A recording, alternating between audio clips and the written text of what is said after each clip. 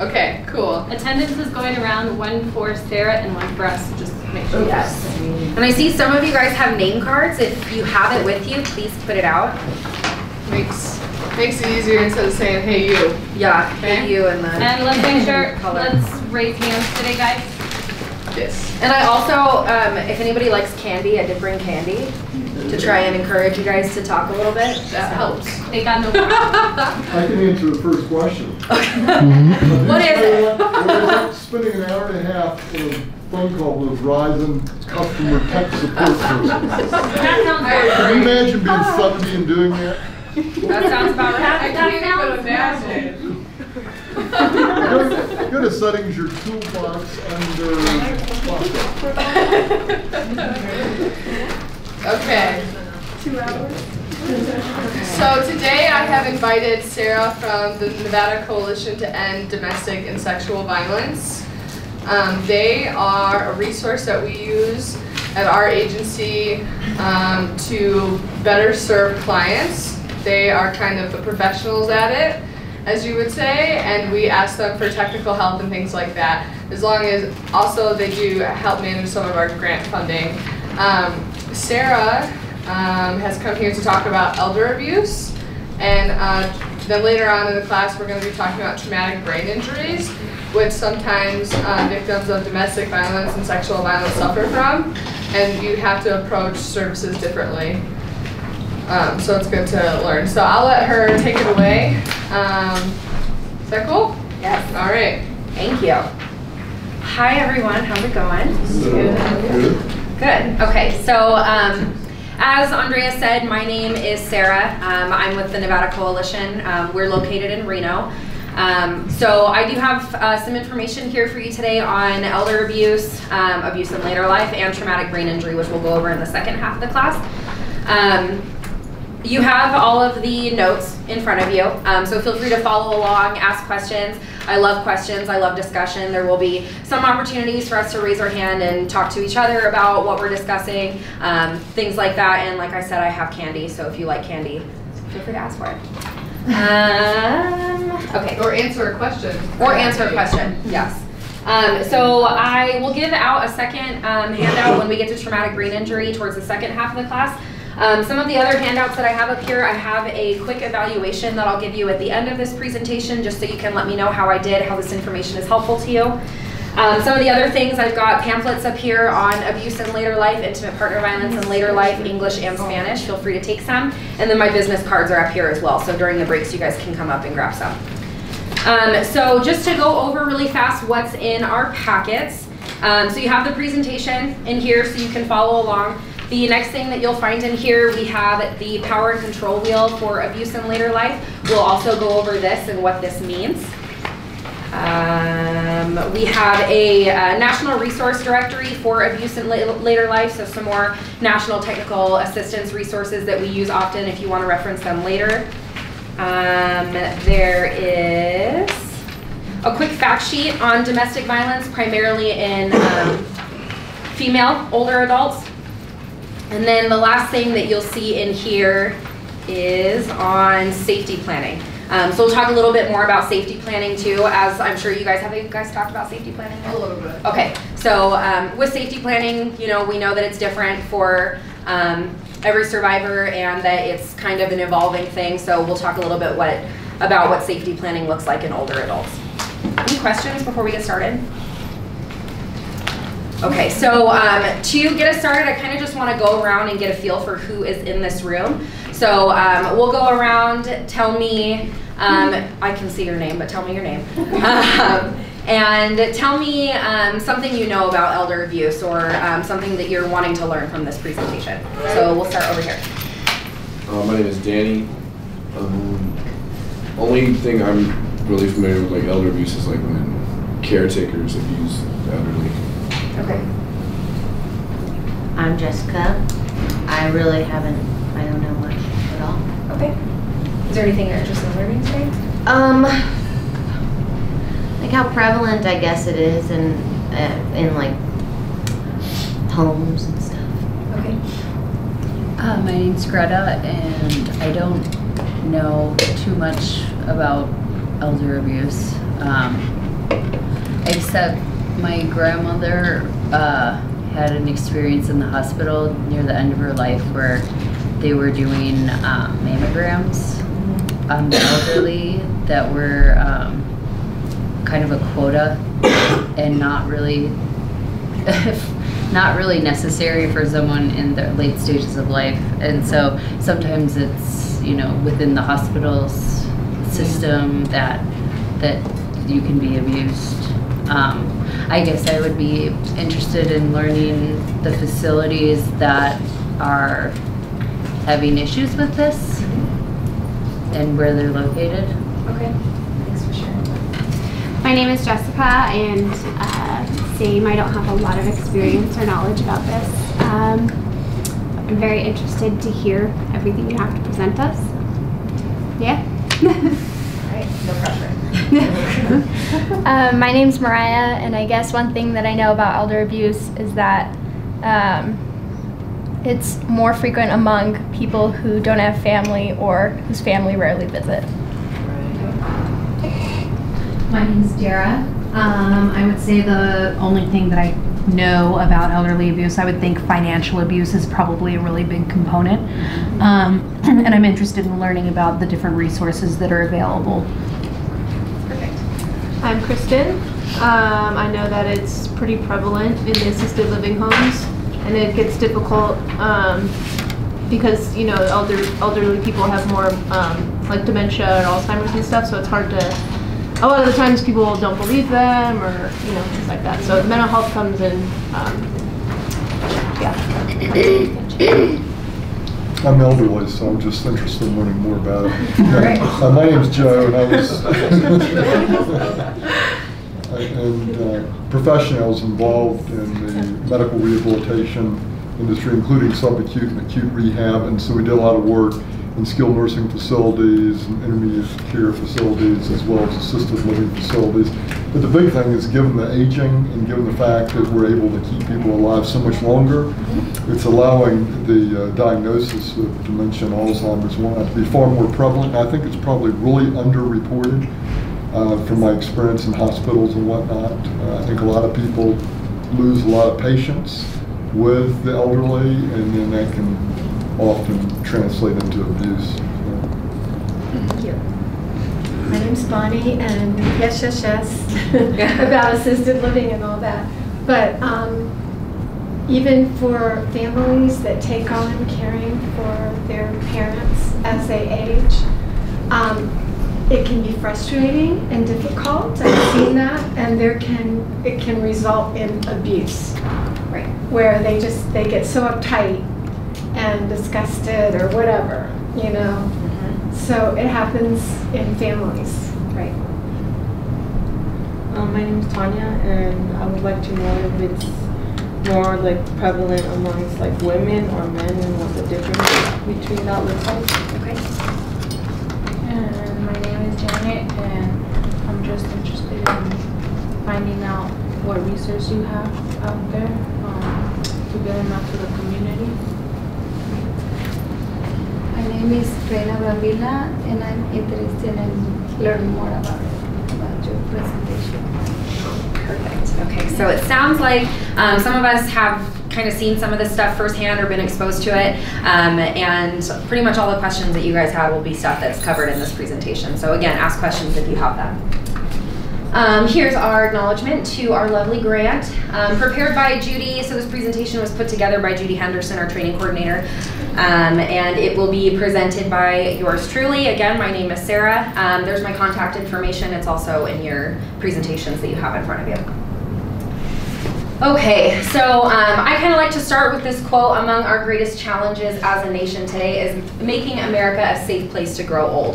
Um, obviously, that's something that we all want, right? A safety kind of throughout the lifespan, not just as um, a young or a middle adult, but also um, an older adult. So I won't read through all of these word for word, but these are just some of our objectives, some of the things that we'll cover in today's presentation, so you can look over these. So ageism, we will um, start by covering ageism. So um, who can give me an example of ageism? It's kind of institutionalized. We see it a lot and might not realize it. Um, when you Like say someone older applies for a job and they don't get the job because they're older. Okay. Yeah, that can be an example. Anybody else have an example? Yeah. Statements like, uh, you know, being in a tech-driven career base now, well, they're older, so they're not very technologically minded, they definitely won't fit in. Right. Yeah, that's a perfect example. Yeah. Um, so basically, prejudice, stereotyping, and discrimination based on somebody's age. Um, and this isn't necessarily just for older adults. This can be against um, somebody of any age. Um, America, we do have an ageist society. So again, this is kind of something that's systematic. It's institutionalized. Um, some examples and how ageism might be expressed. Um, I always think of like elder speak. So when we talk to older adults, we might say, "Hi, honey, how are you doing today?" Or um, uh, is there anything? Gramps or pops? Or is it like just talking derogatory to his age? Exactly, yeah, and um, you know, kind of using this patronizing language to them, these tones, um, maybe speaking very loudly because you assume that they can't hear you. They you assume that because they're older that they are hard of hearing, which isn't always true, as we know. Um, so all these examples of ageism are very prevalent. We see them a lot, and sometimes we don't even realize we're doing it when we're talking to older adults. Um, and ageism is a big part of um, abuse in later life as well. It's kind of rooted in the foundation of ageism. So setting the context to silver tsunami, does anybody know what we're talking about when we mean the silver tsunami? Is this like all the baby boomers getting older? Yeah, pretty much, yeah. It's also referred to as the age wave. Yeah, uh-huh. So it's kind of our, our aging population, and we're aging extremely rapidly here in the United States. So starting in 2011, 10,000 Americans will turn 65 every day and ongoing for the next 20 years. So again, that baby booming generation. Um, one in about every three women in America is 50 years of age or older. Um, about almost 14% of all Americans have a disability, and that um, isn't necessarily a physical disability. It might also be intellectual or cognitive disability.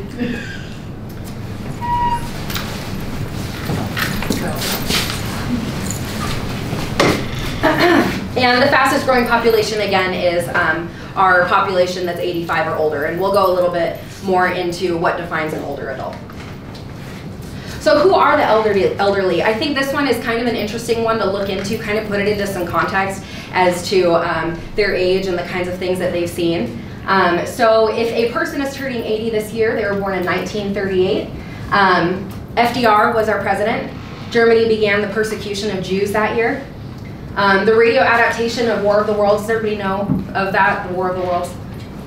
Maybe. So it was um, it was a, a novel. I think H.G. Wells is the author of it. Um, but it was kind of broadcasted over the radio, It's a and it was big deal. exactly yeah, and it was done so well and so seriously that people were listening to it, and they thought Wow, this was really actually happening. Yeah, so they kind of freaked out, and it's about an alien invasion. Um, if you didn't know, so you can I imagine think how that they terrifying ended that up was. making a movie on it too. They did. Yeah. Yeah.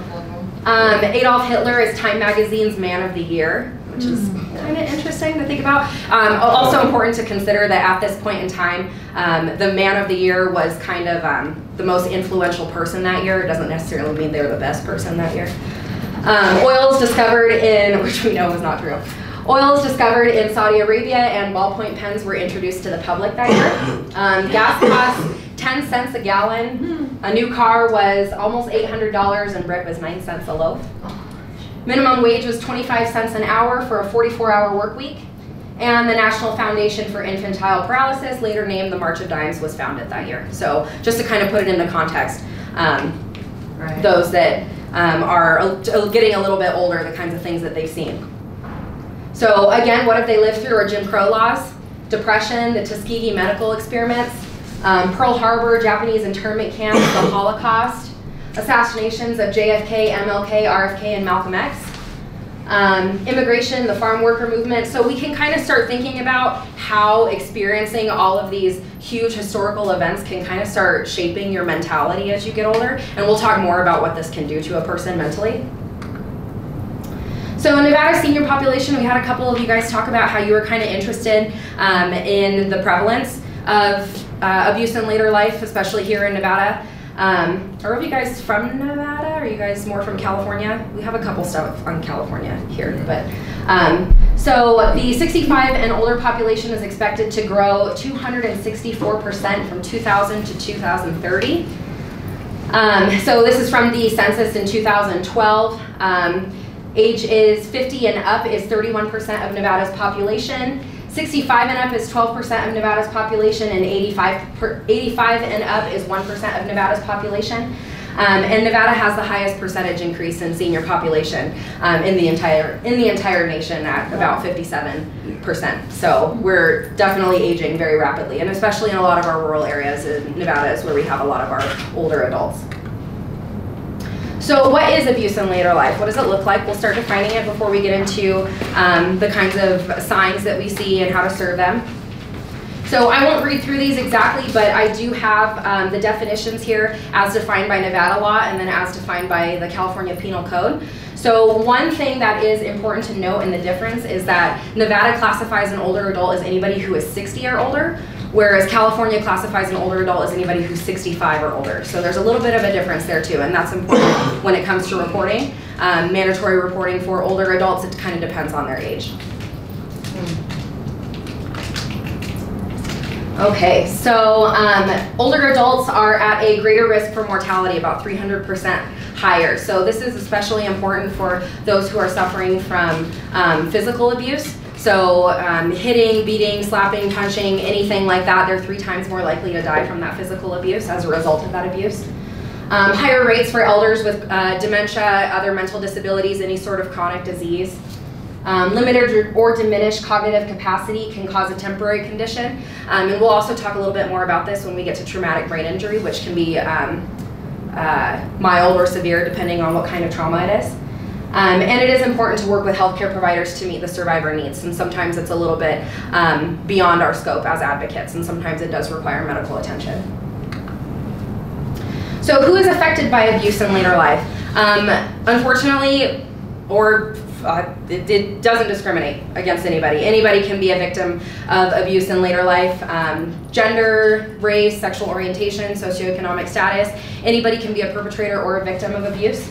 Um, people in good health or people with a disability. So um, older adults or people with disabilities can be more um, likely to experience abuse in their relationships. Um, but you know, people that are perfectly good health or younger adults are just as likely. Who abuses? So as a couple of us said in this room, um, the majority of abusers for older adults are their family members or their caregivers, and sometimes those people are the same.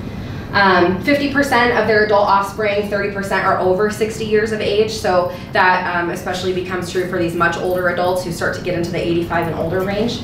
Um, and 20% are spouses and partners. So um, we'll talk a little bit more about what um, partner abuse looks like in this in this population, but for the most part, a lot of times it's their family members. Um, and it can also be partners in LGBT plus relationships, caregivers, persons in positions of authority, so that can be their guardians. Um, it can be somebody serving them at a financial institution, maybe their bank teller because they have access to um, their finances. Um, lawyers, interpreters, pretty much anybody who has some sort of authority or a position of power um, over this older adult. So these are some common abuser justifications. Sometimes it can be a little bit easier for an abuser to justify their behavior over an older adult um, because of that ageism that we see a lot. We think like, oh, you know, maybe they don't remember a lot or they, they fall a lot or, um, you know, they're just imagining that that happened, things like that. Um, they're just clumsy, so if they see a bruise on them or something, they just fell and they're like, oh yeah, you know, they're old, it happens. Um, they didn't do as I wanted. They started it, so that mutual abuse, I, they were fighting me, so I fought back. Um, very demanding and they're just too difficult to care for, so it can um, come from caregiver stress, which can get harder as the person starts to get older. I have a problem with my temper, blaming it on their uh, mental capacity. I was drunk or high, I'm sick, it's not my fault. Um, in my culture, elders share their resources and we don't put elders in a facility. That's a really, really big one. Um, so they can keep them near them, whether it be for any sort of physical, mental abuse, especially financial abuse. Um, I was hit when I was a child, so you know this is the only thing I know. Um, so I'm gonna, you know, inflict it on other people. They told me they didn't want to go to the doctor. I was following their wishes. So this is um, also commonly seen in maybe older adults who can't speak for themselves. So those who are caring for them just kind of speak on their behalf. Oh, they told me they didn't want to go to the doctor, so I didn't take them. And then they don't know any better.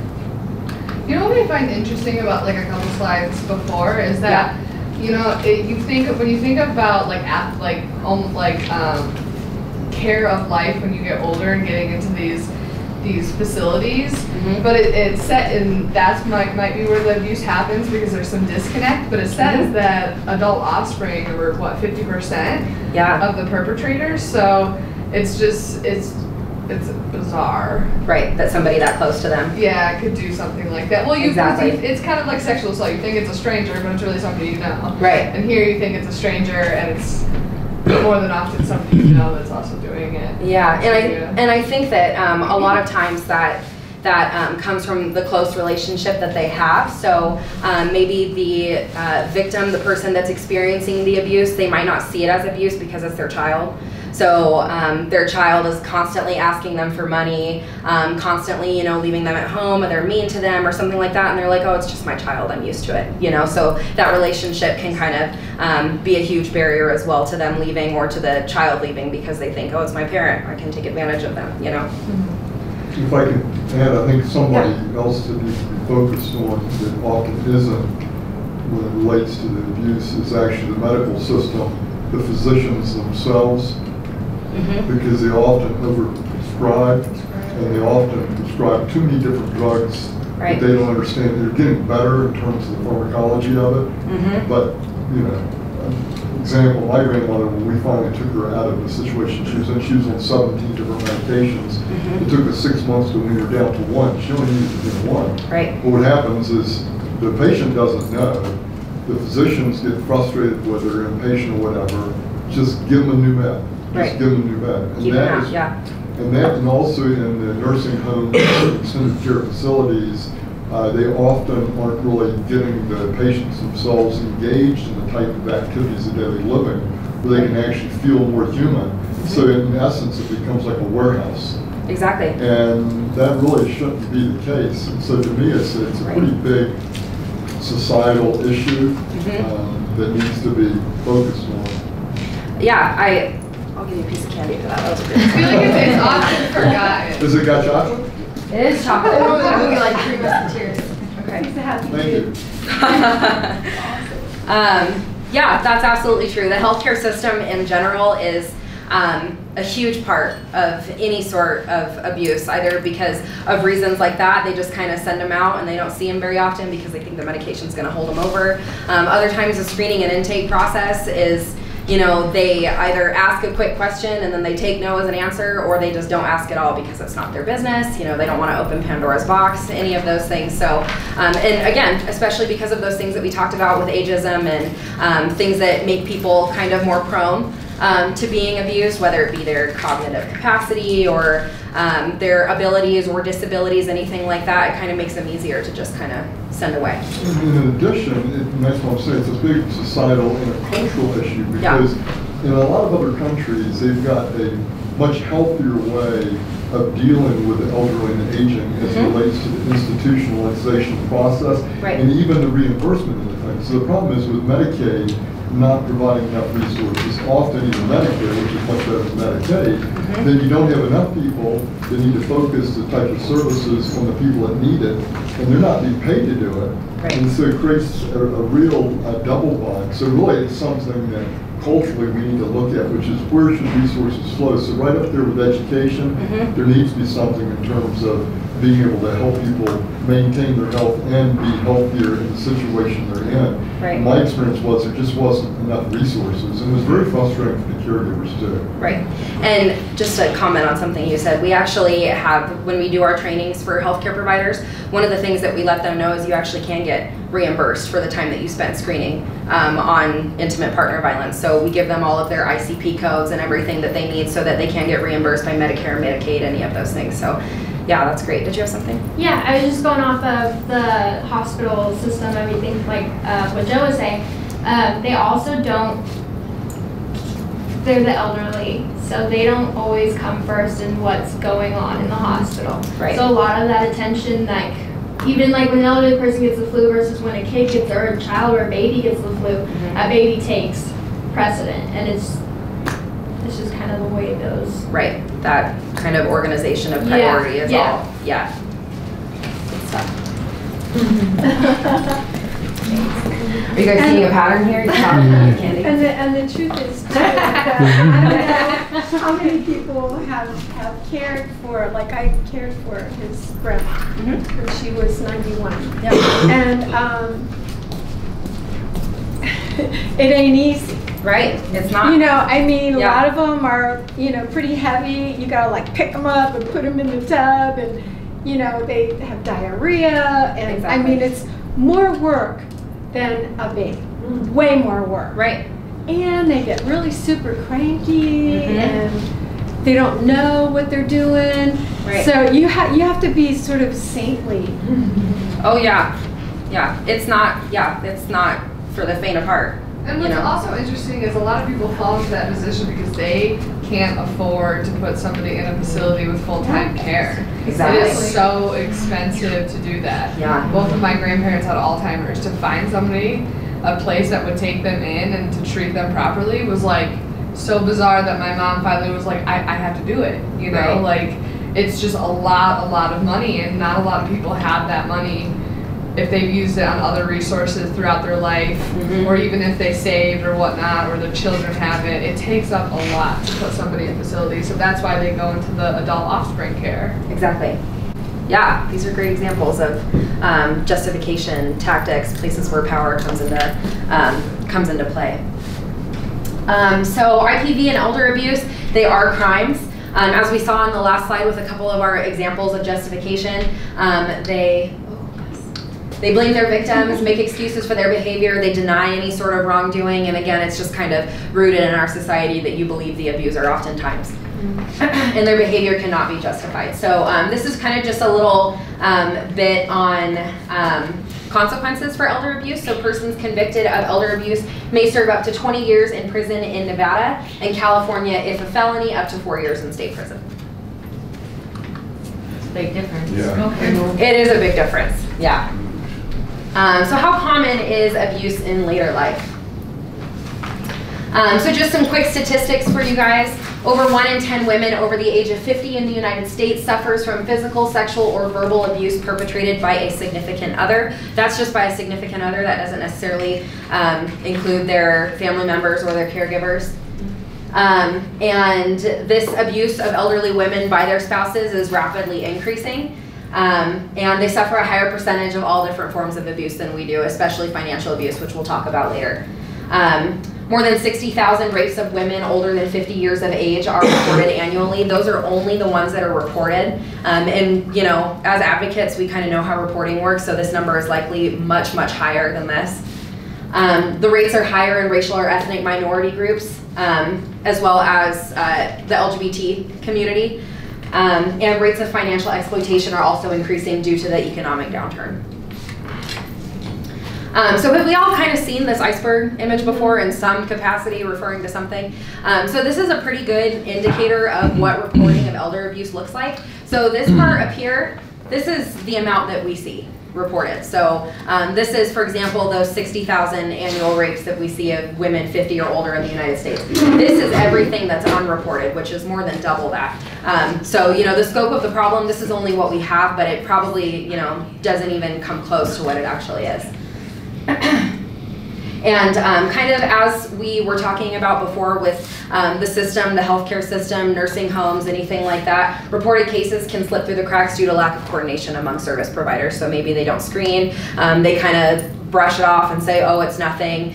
You know, they victim blame, stuff like that. If they really didn't like it, they would just leave, things like that. So all of these things can lead to it not being reported. Yeah. I saw that on one of your other slides. It was talking about elderly or vulnerable, and so it's like people who are end of life, right, are all in this boat, like Yeah. cancer, all that stuff. Exactly. Yeah, and um, I'm glad you brought that up. Yeah, so um, a lot of this stuff applies to not only older adults but our vulnerable adults. And when the when we say vulnerable adults, it's um, mostly people with a disability, people with some sort of a um, mental or cognitive disorder, um, or just people who are at end of life or rely on the care of somebody else, um, you know, to get through their daily lives.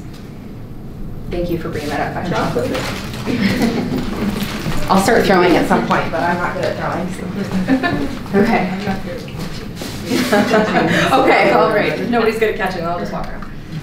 Okay, so types of abuse in later life. Um, So these are some of the types that we see. We'll talk a little bit more about them in the power and control wheel, which we'll see on the next slide. Um, so intimate partner violence, when we say intimate partner violence, again, we're usually referring to partners, spouses, some sort of romantic relationship, um, not necessarily sexual.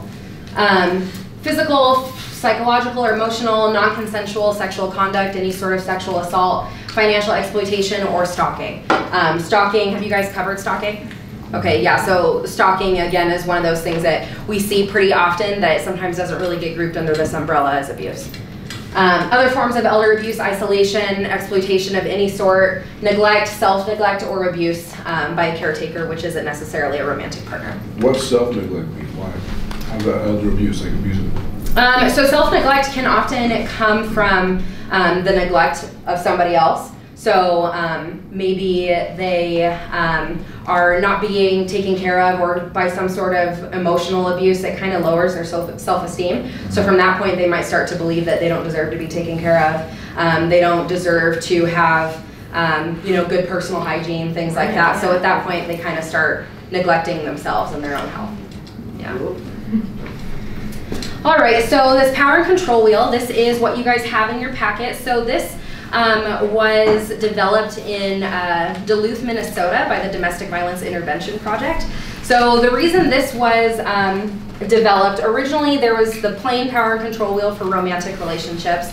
And um, they sat in um, interviews and conversations with survivors of different, different types of violence and we're talking to them about the abusive behaviors that they were experiencing. Um, and they kind of started noting these behaviors in a wheel, and the reason that they are shaped in a wheel is to emphasize the fact that power and control is a systematic process.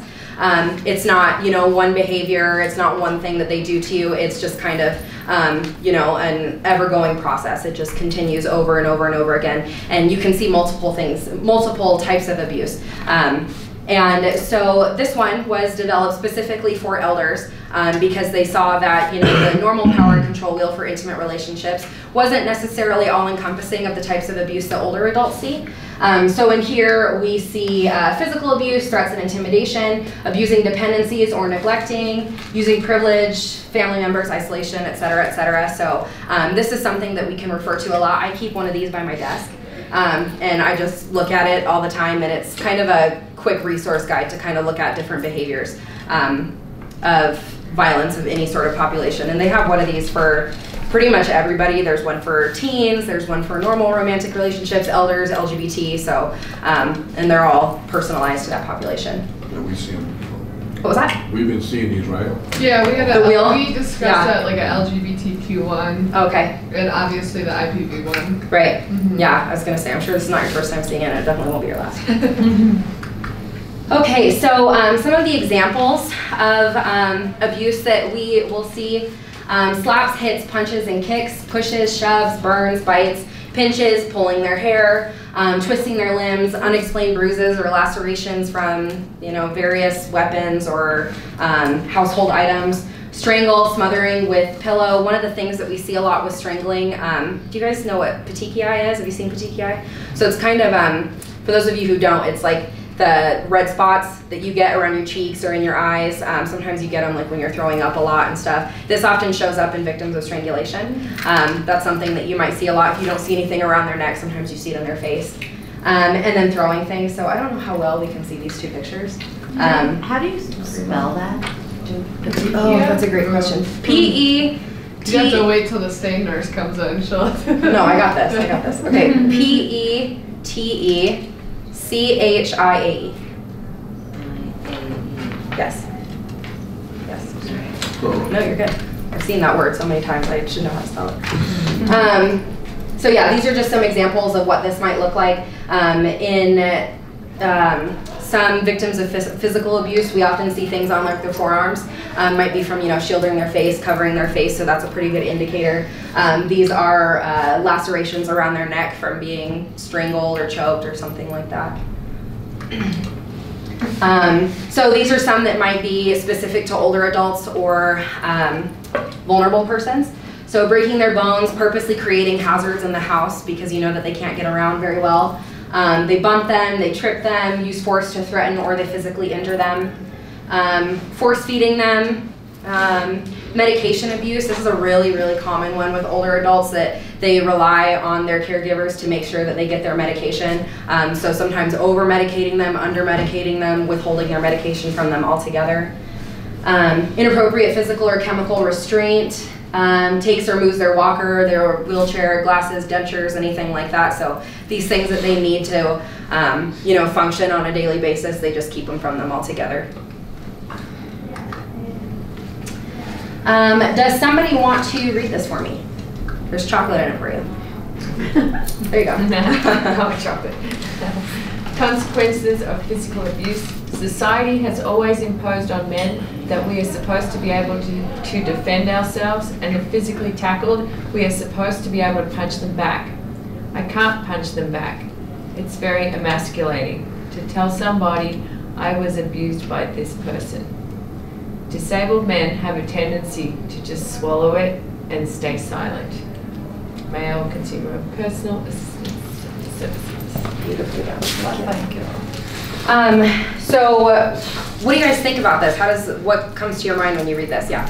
The- What comes to my mind is when people attack homeless people, Mhm. actually, and how they are super vulnerable and a lot of times elderly. And um, there's like a trend where these teenage boys were out attacking and like taping them up or doing stuff to them when they're sleeping and um, they don't really defend themselves, which is kind of surpri- you know, it they just are so floored, maybe surprised, but also I think this meant you know this feeling might might be Right. at play. Yeah, they're already in a very vulnerable position, and they kind of, Yeah. you know, don't want to break themselves down anymore, so they just kind of let it go. That's a great example. Anybody else? Yeah. When he says it's emasculating to tell somebody that you're abused, if you are older and you've grown up in that society, you're supposed to be able to take care of yourself, be the man man. Mm-hmm. So that tells me that there's plenty of males who may not speak up out of, you know, shame. Exactly. Like, they're not gonna say it. Right. Yeah, and this is definitely a societal thing, you know, because we, and this is, you know, not just with older adults or vulnerable, vulnerable persons, but um, generally with males in society, you know, it often goes un, underreported, um, not reported at all, and we know that their rates are um, pretty comparable to women. They just don't speak on it because, you know, there's this, um, there's this kind of expectation of them in society be a man fight back you know like men don't get abused stuff like that. So um, yeah. Is it, do we have what, sorry, do we have, um, higher rate, like, numbers here in America than most countries uh, on abuse of the elderly altogether? um, definitely. Yeah. Yeah definitely. Um, men in general and again that's um, some of it is like we said before cultural. Um, some of it is just the system society the way that we see elder abuse the way we see abuse in general. Um, but in terms of men and women for women it's about one in four men it's about one in seven um, and that again is just what's reported so those numbers are pretty close to each other can you catch Yeah, I can catch. yeah okay just like Yeah, I can catch. that was my bad. I totally got it. He can catch everybody. I promise. I'm sure he can. Sarah? Yeah. Uh, Something that, it's somewhat along this line, but I think it's one of the biggest challenges we actually have Mhm. is because there's not enough communication with the families, the spouses, everything combined, there's not focus on advanced directives. And I've seen professionally so much so that when it comes closer to people's end-of-life options, they don't really know what they are. Right. And so consequently, because there hasn't been a family discussion, they pull out all the stops. I mean, just a little factoid, there's about thirty percent of the total Medicare funds, which is now mm-hmm. close to a trillion dollars. Almost three hundred billion dollars a year goes the last thirty days of life, when that person was pretty much already dead. Yeah. And what you see happen to them often, particularly if they're in acute situations in intensive care units, is nothing short of torture. Because we're just not educated around that. We have a very unhealthy perspective of death and understanding what death is, and even the morbidity that precedes death then. Right. So there really needs to be conversations about, you know, with mom and dad or whomever it happens to be, or grandparents, Mhm. um, so that they don't necessarily have to go through this, and it doesn't end up also creating tremendous financial hardship to the remaining spouse that members, survives. yep. It's a big, big problem. Right. Yeah. Thanks for sharing that. Do you want another piece of chocolate? No, no, I'm good. you can have it if you want to. It's not shameful. All right. So um, another form of abuse, psychological or emotional. Um, again, this is a form of abuse that we see not just with older adults, but almost with everybody. It's you know pretty common that we see um, verbal attacks, belittles, name calling, um, constant criticism. They um, ridicule everything that they do. They never have anything nice to say. Um, act superior, treats them like a servant. I'm taking care of you, so you know I am your authority figure.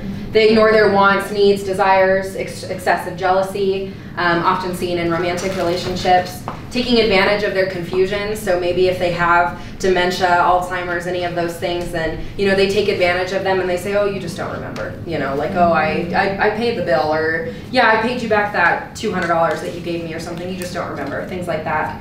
Um, watches where they go, who they're with, and then kind of giving them the silent treatment. So um, the silent treatment. This is also where that. Um, self-neglect can come from. Um, so, you know, it kind of lowers all of these things combined, really lowers the person's self-esteem. Um, there's a lot of studies that show that um, in working with survivors, they say that any form of emotional or psychological abuse is absolutely the worst thing that they had to endure from their abuser, even after any sort of sexual assault, physical abuse, financial abuse, anything like that. So this is definitely really detrimental in any case. Um, some more rejection, using profanity against them, um, humiliating them or intimidating them. Um, some of these really specific ones, threatening to put them in a nursing home if they don't comply. If you don't start doing X, Y, Z, I'm going to put you in a home and they're going to treat you a lot worse than I do. Um, divorce or not to divorce, commit suicide, maybe displaying weapons, casually leaving knives and guns around and stuff like that. So they're really afraid of um, not complying with your wants and needs because you're, you know, threatening them. Um, denying access to spiritual traditions or events, um, any traditions with their church or any sort of, um, especially their social groups, so kind of keeping them isolated from anything that they do to have any sort of a social life outside of the household. Um, ignoring their religious traditions, which can be really detrimental to a lot of people, preventing them from practicing these traditional ceremonies and events. so, pretty much not allowing them to have any sort of autonomy at all. Um, sexual. So, um, this is something, and we'll see it in um, the next slide too. A lot of people don't see it in elder um, adults, older adults. They think, you know, like, oh, they're too old to um, experience any sort of sexual assault or any sort of sexual abuse, anything like that. So a lot of this is overlooked. Um, making demeaning remarks about the intimate body parts, especially by caregivers. Um, looks or touches the elderly person sexually in ways that make them feel uncomfortable, and they completely ignores their um, you know, they're they're um, asking them to stop or saying no, anything like that. Um, let's see, taking advantage of their physical or mental illness to engage in sex or, sex or sexual acts, sexual contact that's forced, um, coerced nudity, forcing them to watch pornography on the TV or the computer, not letting them change it. They, you know, they can't move from the couch, so you're going to make them watch it. Um, not using protection from sexually transmitted infections. This is a really, really common one. Um, bruises around their breasts or their genital area. Um, so with these, um, a really big, um, a, a, time that we see a lot of these really often is especially in those who have um, some sort of um, cognitive disability or Alzheimer's, some sort of confusion, dementia, anything like that. So, for example, maybe if they have dementia, um, they might be coerced into thinking that they were having sex with their husband when in reality they were having sex with their brother in law or their caregiver or something like that. Those are things that we see a lot, is just making them feel confused. How are we doing, guys? Are we okay? Oh, this is tough stuff. To be all. Yeah, I know. In this country. Yeah, like there's already a lot of other, yeah, it's sucky for a lot of other reasons, and now you learn about all this. Right, yeah. All right, so can I get anybody to read one or both of these for me, please? Okay. Um, we'll take turns You give it the second one. You just want chocolate, huh? Just kidding. The emergency room doctor looked at me and said I had four heads. I told her that I wanted her to do a um, gynecological exam on my client. I was worried that she might have been raped, and the doctor said, "Why would anyone want to have sex with a nine-year-old?" Nine-year-old. The police said that, thought, the police said that thought she had been raped. It didn't count because she couldn't feel anything from the waist down due to paralysis. Yeah, Wow. Yeah, disgusting, right? Yeah, and these things, these are extremely invalidating. You know, that um, you think like, oh, because I'm old, I wasn't worthy of being raped or something like that because I have this disability. I it must not have happened to me. I'm obviously thought of as lesser, things like that. So um, again, these are um, back to that societal thing. Um, that it's a system, you know, Is that common that we kind of- um, I don't, I don't have statistics Mhm. on these kinds of things, but these are things that were actually said. Yeah, but yeah. is it, so. does this get said, you know? Oh, I'm sure.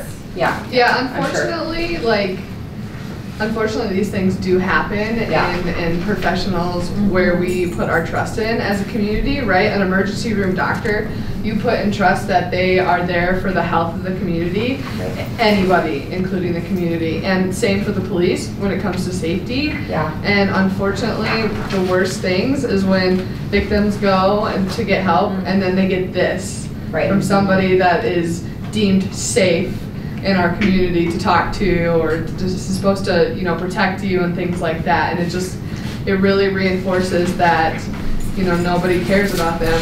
I can't eat chocolate. Somebody take it from Oh, me. no. Water. I can't give you water. Yeah.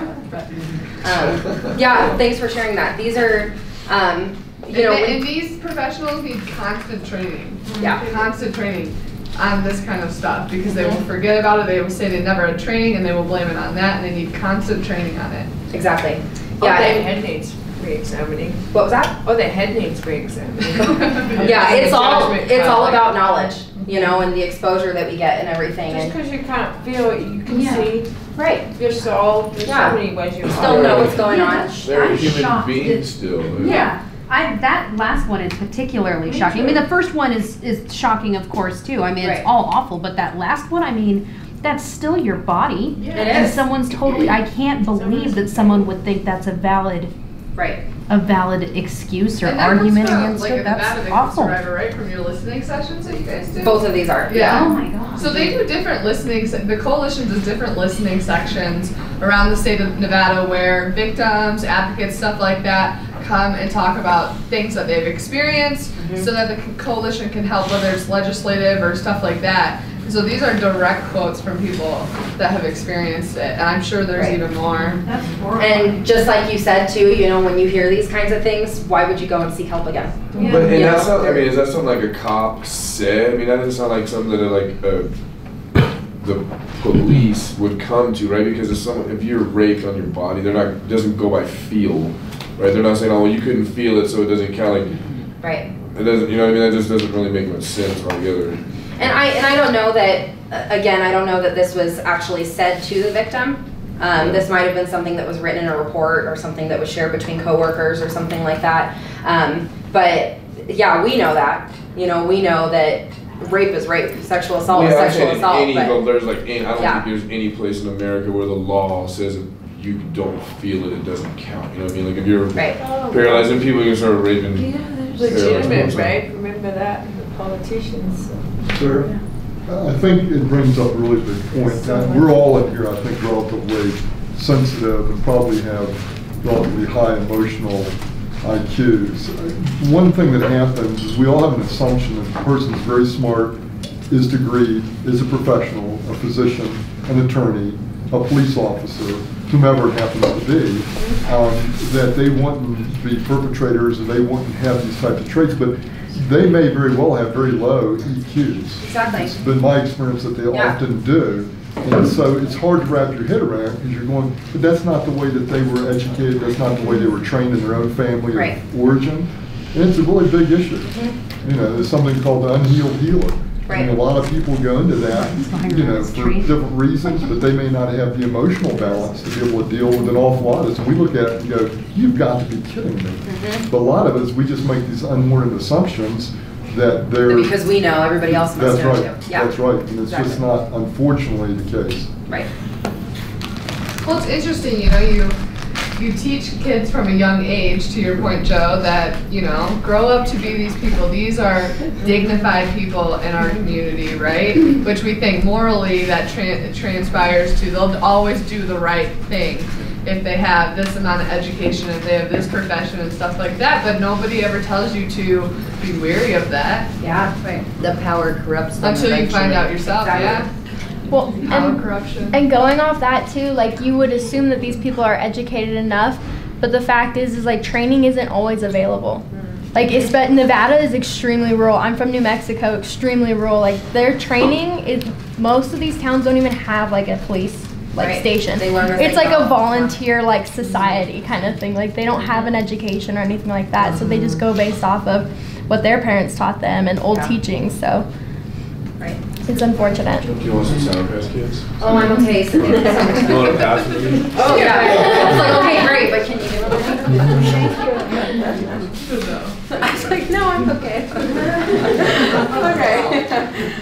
All right. Good comments, guys. This is a good discussion. Okay, so um, financial abuse.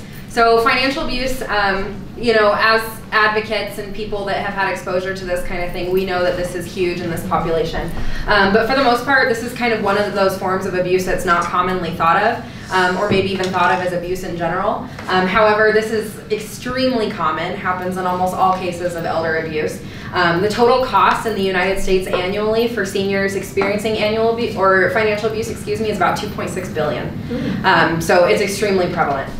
Um, so some examples of it, giving the senior an allowance or not allowing them to have access to their own money. They have their own money, but you're telling them how much they can spend of that money. Um, because Do you have like power of attorney or something? Because if you have your card, you can go, or they just.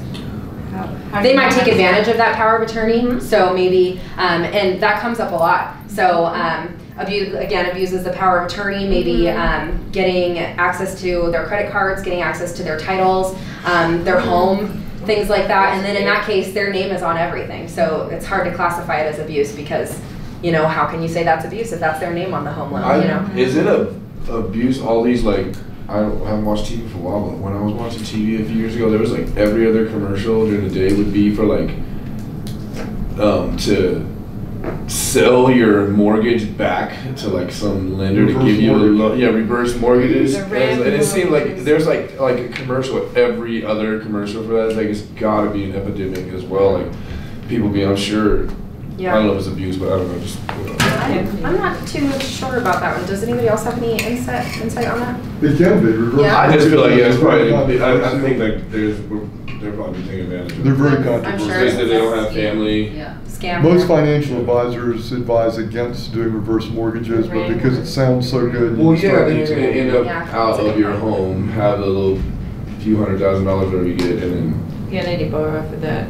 well, then they, they're that's the home is probably the most secure thing you have. I mean, I Right. think as an elderly person. Exactly. Yeah. It's just better to go get a home equity loan. You still own the home and you're getting some money if you need cash or whatever, but sometimes they work, but generally they don't work from what I understand. Good. I'm glad you brought that up. I hadn't thought about that before. Um, let's see. Um, Destroys or steals. Yeah, destroy. Thank you. Destroys or steals personal property, sentimental items, Medicare fraud, um, abuses power of attorney, send changes in their financial accounts. So they thought they had a lot more money than they actually did because somebody else was looking over their accounts.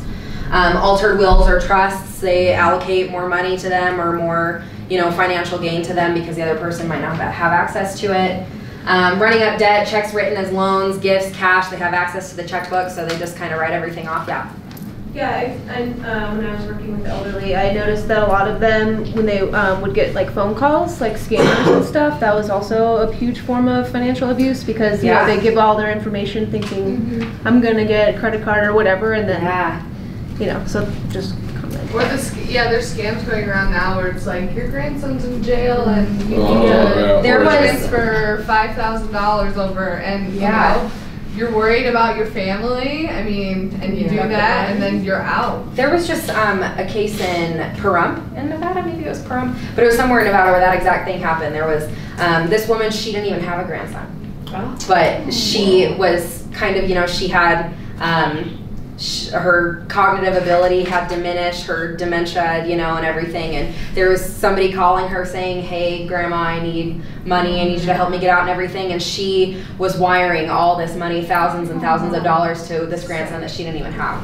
Yeah. Can I have a question on this? Like with money these days, it's going more into internet banking and on all this online banking. Mhm. So if you're 70, 80, 90, you may not be well versed in that. Right. So then it's easy to get if your um, power of attorney or your Uh huh. what is it? Your son is helping you out. Yeah. And you can't see it, and if you're not mobile, Right. you can't get to the bank. So Yeah. and you don't. And you give that access to somebody else because you trust them to take care of it for you, and they and don't. the logins can get changed on Right. bank accounts. You don't know, and all of a sudden the money's gone. Uh huh. And it, it's just, uh, it's crazy too. It's like always, because I was thinking about like if people who are really wealthy, if they're as prone to being victims, right? And they're probably not, I guess it's just like with everything else, like the less money you have, probably the more chance there is people gonna be taking advantage of you because you haven't, you don't have anyone in place to look out for you. Right. And there's also, I've read stuff about that being like a psychological thing too. Mm-hmm. There's theories of that when people are, you know, they're under this authority their whole lives and then they suddenly get the power, it's like they just go nuts with it, you know? That's a great example. I'd I'd also insert that the third bullet point there might be bigger than everything else financially in this country, the Medicare fraud. I mean, now the GAO, um, um, excuse me, the Office of Inspector General, they've been focusing on this for a long time. But all of you that have parents who are still alive, if they're, if they're using medical services, you really need to look at their Medicare account, you need to look at the bills, you need to look at the statements. Yeah. You need to make sure, even if you have to, going in when they're meeting with the doctors, because I'm not saying all of them, but all it takes is five or ten percent of the medical population, and you're looking at a big issue in terms of upcharging, trying to go to the next event that you can basically charge more. So instead of doing something down here, you basically, it's almost like upselling in the Right. auto industry. Mm-hmm. And since you have to pay twenty percent of the Medicare allowable of that, one, it has a cash impact, but also really impacts the entire system in a very negative way. It's a really big issue, mm-hmm. and it's confusing enough, and there are, it's great, there's ombudsman, people that can help you, you know, social security. A lot of people don't even know that. Call the Medicare lines and ask for a counselor to get clear, because it's very confusing and very complicated. Mm-hmm. And there's probably another fifty to hundred billion dollars a year in this country. It's- Spent on that. Yep, Thanks for sharing that. big time. Okay, um, does somebody want to read this for me, please? Somebody who hasn't said anything yet, I want to hear your voice. Ready? I think everybody's talking. Pick on somebody. I'll read it. but I think Okay. You wanna read it? You want it? Okay. Consequences of financial abuse. She picked me up at the hospital. I said, I'll be so glad to get home. She said, You're not going home. I've moved you in with me. Do you want me to read the whole thing? Yeah, go for it.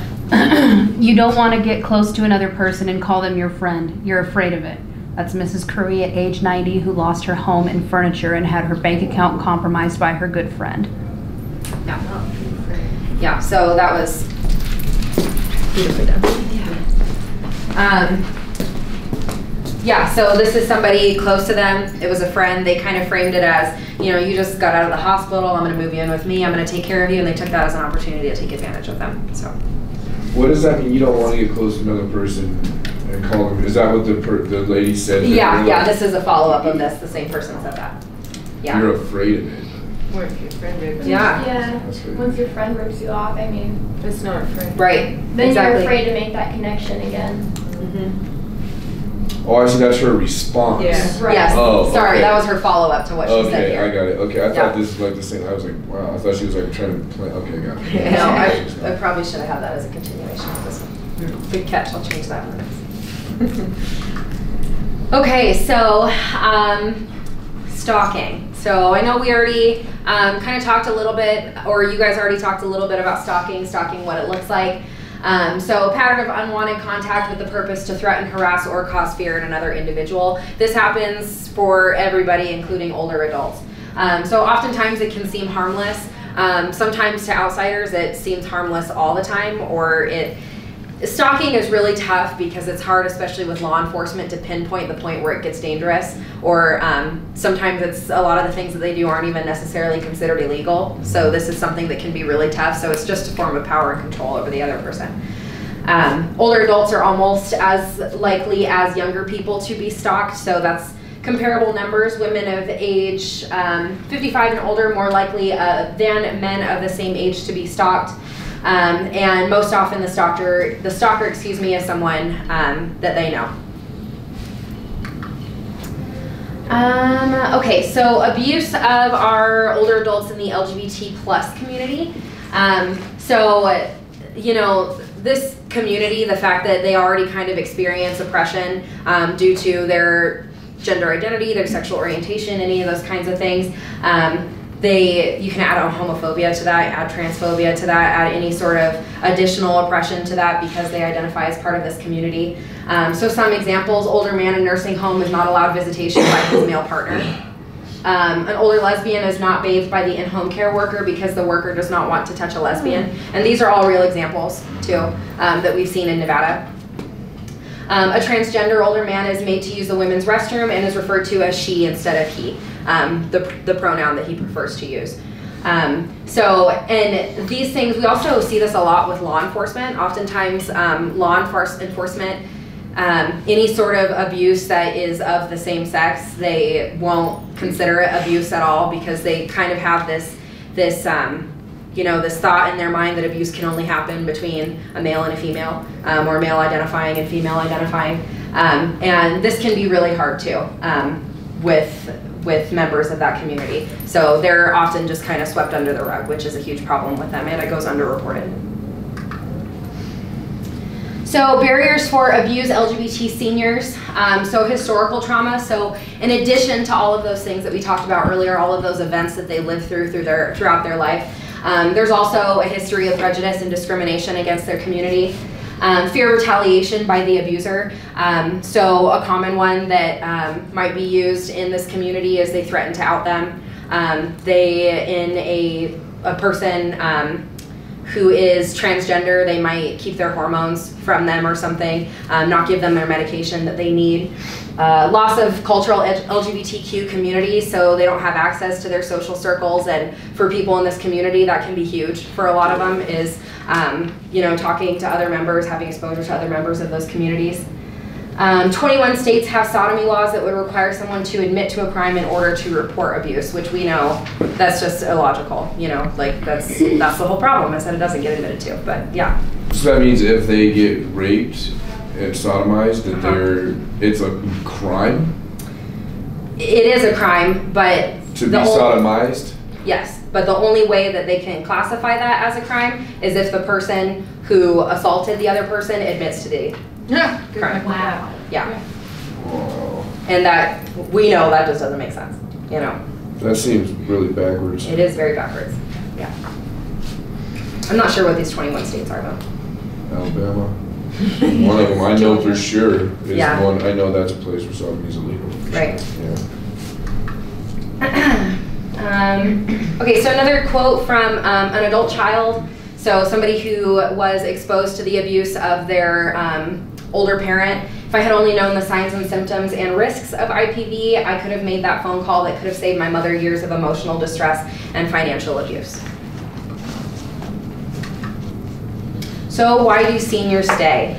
Um, this is huge, reasons why they stay, barriers to them leaving. Um, and this is something that in our society, we kind of inadvertently ask a lot is why do they stay when instead the question should be why does the abuser behave the way that they do why doesn't the abuser leave et cetera et cetera so this is kind of something that's rooted in our society um, so uh, this is a real example um, So, a history of having repeated inappropriate victim blaming responses from people who were close to them um, were all barriers to them leaving the abusive relationship. So, for this first one, um, they went to their friends um, told them about the abuse. The friends told them, Why don't you just leave? You're stupid for staying with him. What did you do to deserve this? You must have done something. Mm. So after that, this person, they thought their friends were going to be no help. So instead, they went to um, their mom.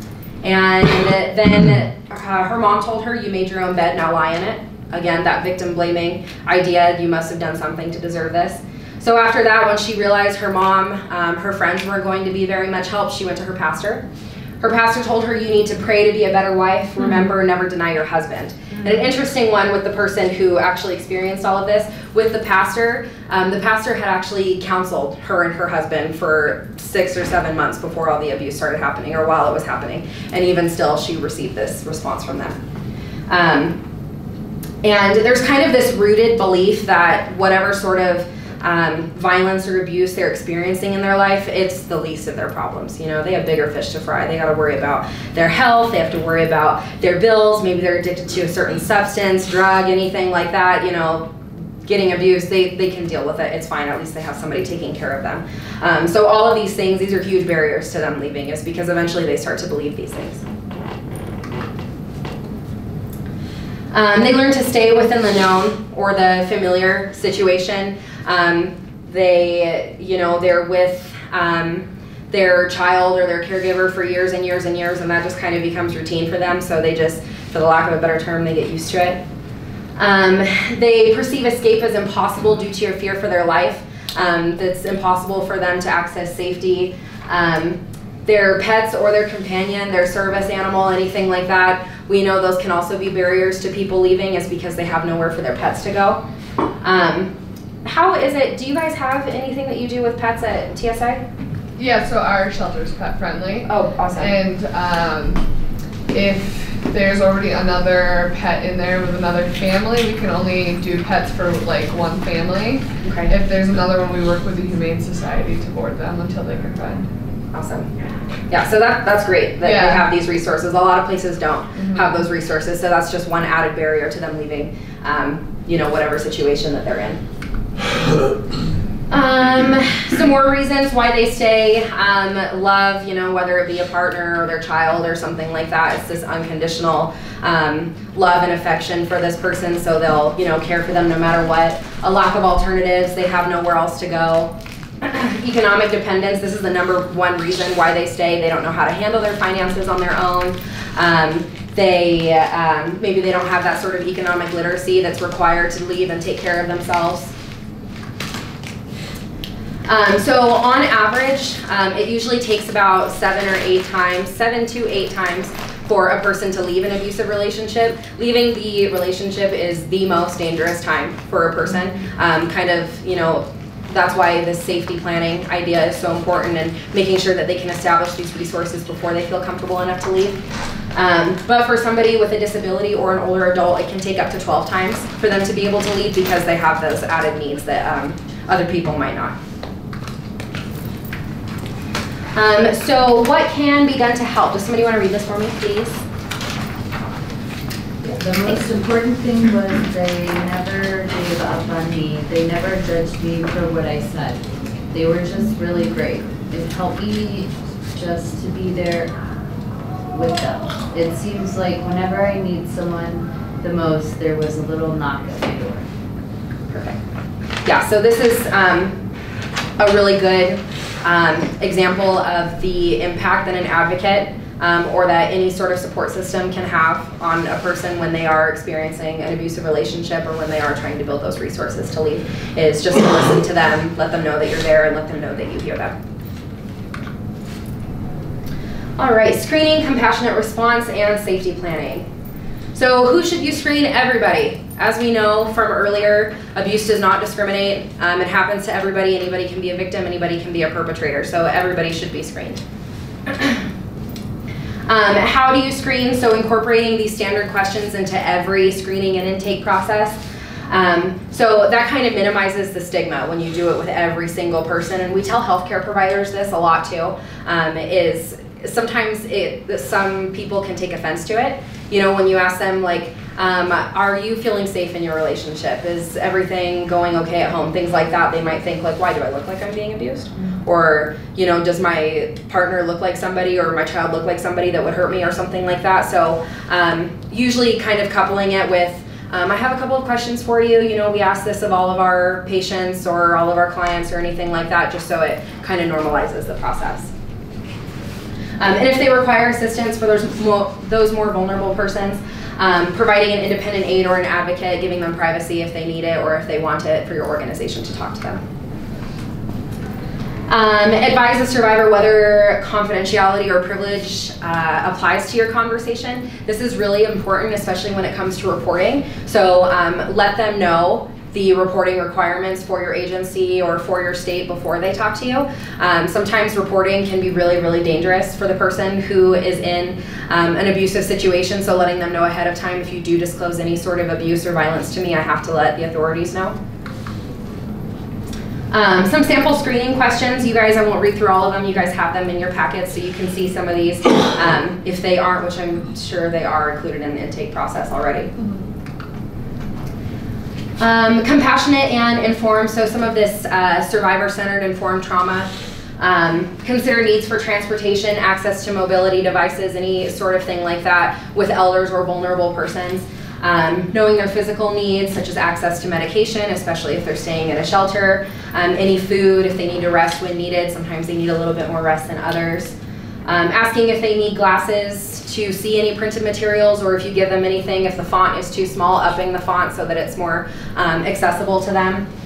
Um, be prepared to house service animals. So um, some of this, you know, might not doesn't apply to the TSA because you already do. But um, and then having a list of certified, qualified uh, foreign language and ASL interpreters should they need it as well. So having your whole intake screening process, your shelter, et cetera, as accessible to any population.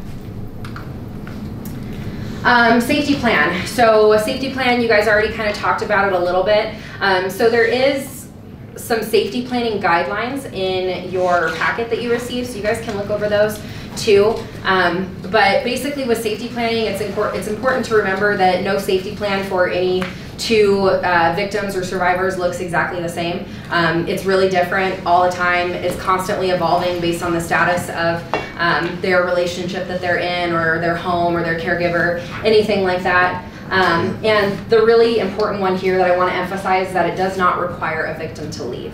Um, so that's kind of that survivor-centered thing is we give them the empowerment to leave if they want to, but we also let them know that here's some safety planning um, and some you know resources just in case you need them if it's not safe for you to leave just yet.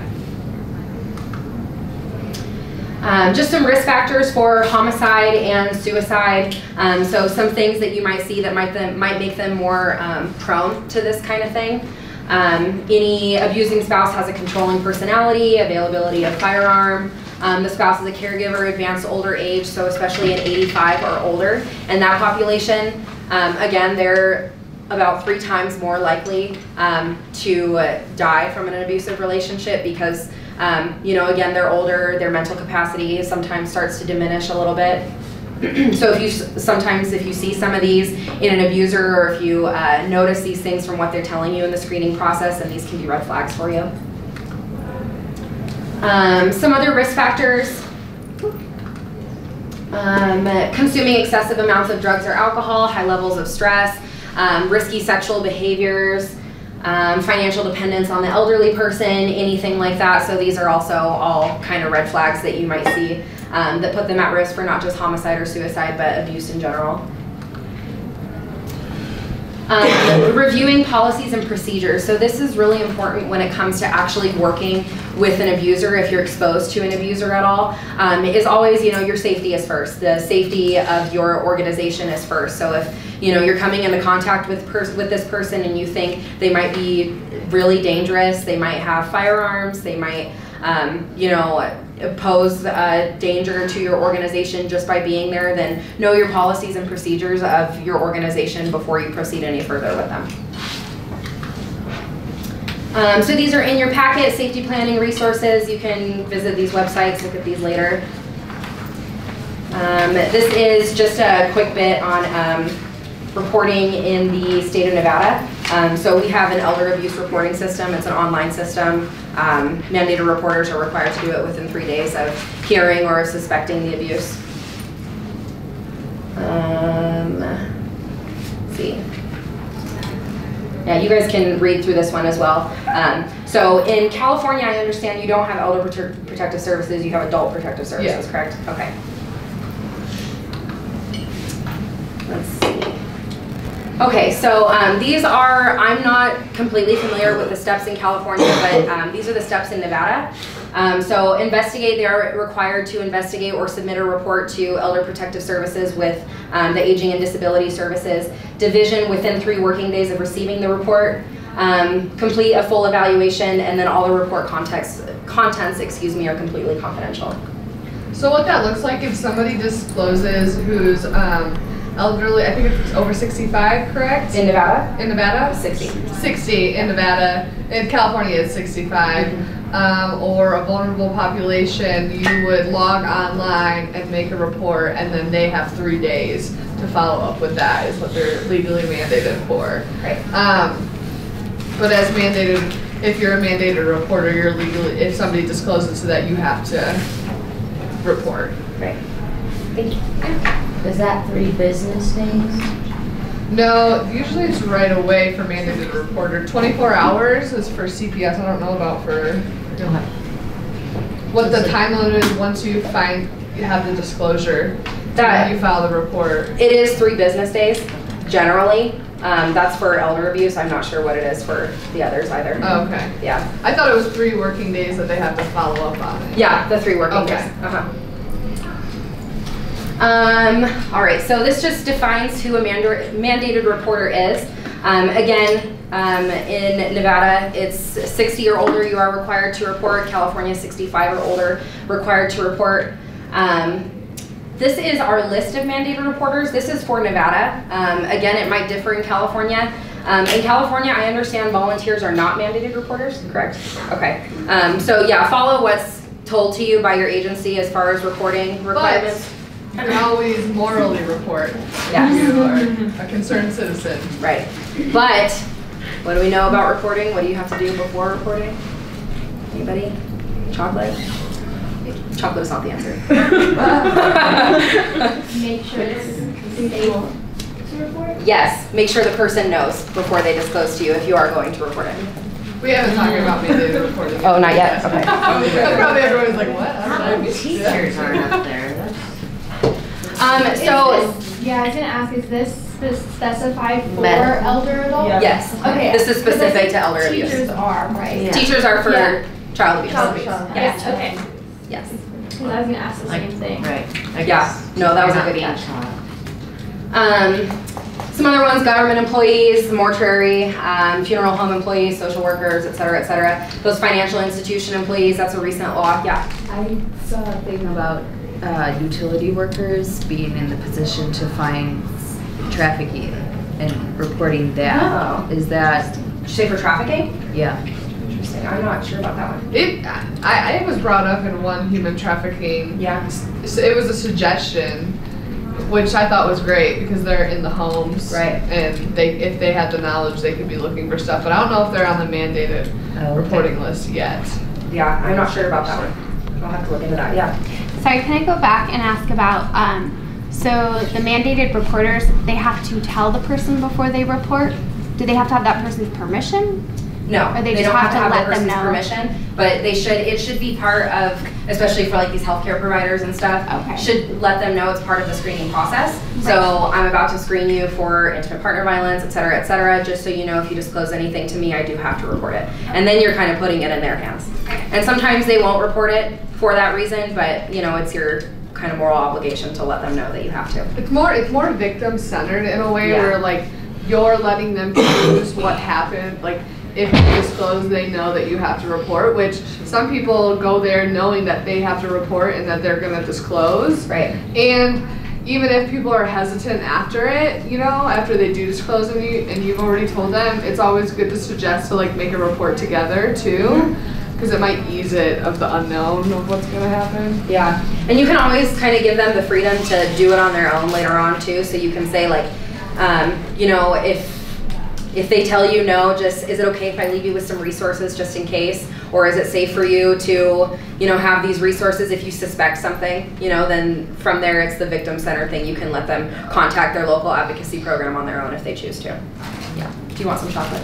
Oh, no, thank you. Sure. it's getting late. I need to keep you guys awake. Um, all right, and then the other thing, this is really new too, is a music therapist. Um, so this is something that we're kind of seeing a lot um, with older adults and with people with disabilities is music therapy um, as a form of um, self-care, mindfulness, care in general, things like that, and they're also now mandated reporters. So. Um, let's see, reporting process. So um, this is like what Andrea was saying earlier. So uh, they have to report it no later than 24 hours, but then that three-day investigation cycle comes into play. um, any life-threatening elder abuse should be reported to law enforcement immediately.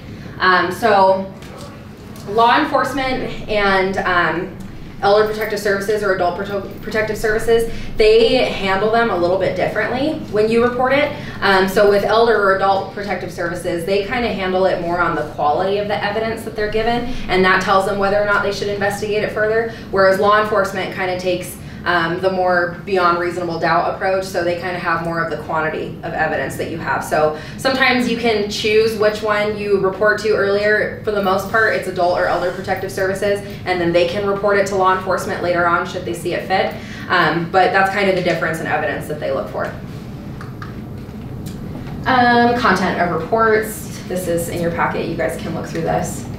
Um, where to report elder abuse in Nevada. So we have our Aging and Disability Services Division that handles um, elder abuse reports. All their information is there. And then in um, California, they have it, this is the main office here for Adult Protective Services, but they have different policies for each county. So um, this is Nevada County, mm -hmm. right? So yeah, you'll just have to know the requirements for your specific county. All right, so we are ready. So um, can we take a 10 to 15 minute break? Yeah, we'll go okay. ahead and take um, quick 10 minute break. Um, use a bathroom, water, yeah, color, whatever you need to, stretch. Uh, I just want to give you guys a forewarning that this story about Miss Mary, who we're about to learn about, is pretty graphic. So if you guys are having a hard time with it, please feel free to exit out the room. Just give me a thumbs up. Know that you're okay. And we can check in about it later, okay? Yeah, please do. Self-care is most important. So if there's anything that's especially triggering to you or, um, you know, it's this is really heavy stuff. So please do take care of yourself. Yes. Cool. Thank you. Miss Mary, age 98, had lived independently for some time before moving to a nursing home.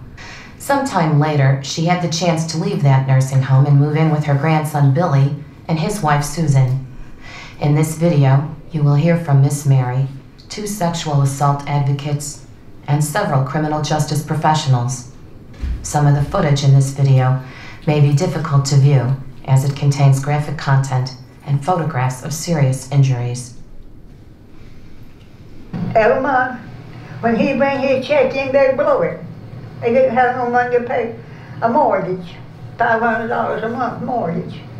And they said, Granny, you got any money? So I get my next check and I'll pay you back. I let him have it. I gave him two $500 checks at one time that I saved. Two at one time. And I said, now Bill, go pay that mortgage. And what changed, I said, bring it back. Come back as Lincoln. I never did see none. I never have seen none of my money. It sounded like pretty much from the start there was problems with that. Not only with her government check being misused, um, they would drive her to the bank, they would have her cash it, they would immediately, you know, go buy things, but not things for Mary. Mary would request one of her favorite things is chocolate milk to this day. she loves chocolate milk. Um, she would request that they would buy her chocolate milk at the grocery store and give her, they would, she would give them money. Those kind of requests were never you know, were never made. She would make her own food and make dinner for them, um, and they would just kind of come in haphazardly, um, not really appreciating or acknowledging anything that she was doing. Um, the fact that she's, you know, in her late 80s and 90s at this point when this was all going on, she was doing primarily the housework, from what it sounds like, was doing the cooking for the family, and was really taking care of them instead of them taking care of her. I think she felt lucky in the sense that she did not want to be at a nursing home, so she felt like she was lucky to have her things and be kind of out in the real world. Um, and so she did whatever she could to make that family work, um, make that situation work. I had to get along best I could. And I didn't say nothing. Mary had told me that they had gone, she had gone on a regular basis to put some of her um, government check into a burial policy so that when she passed, everything would be taken care of.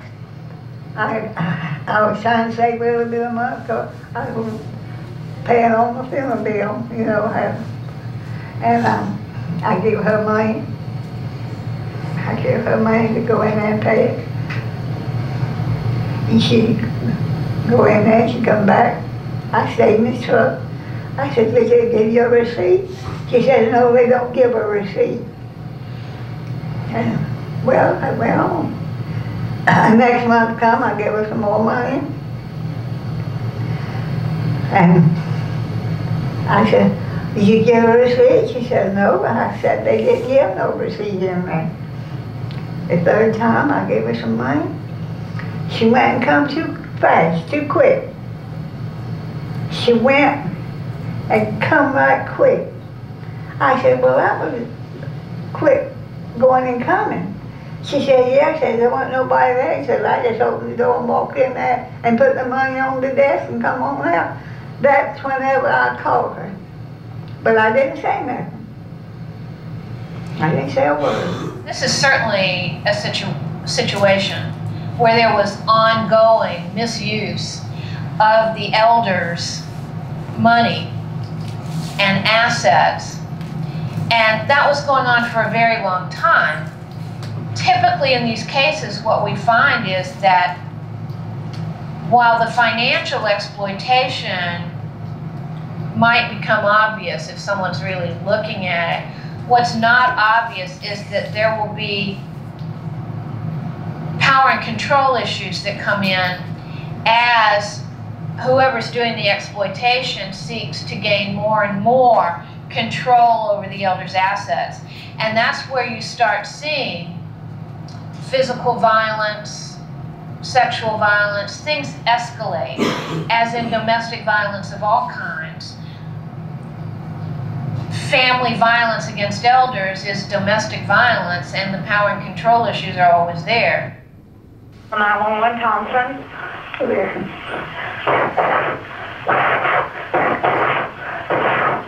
Santa Claus out here.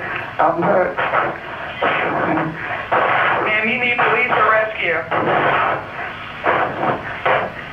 And two or three cops out here. Okay, ma'am. Yeah, in your house. Okay, you need, what's your address? Sycamore Street, so John right there. Okay, listen to me, okay? Take a deep breath, okay? Who are you having a problem with? Ma'am, Who are you having a problem with? I don't know what please, please, uh, Oh, listen to me, ma'am. Who are you? Will you listen, will you listen to me, please? You said it's a maniac in your house. Who's in your house? Well, he's in the house. He's hurting.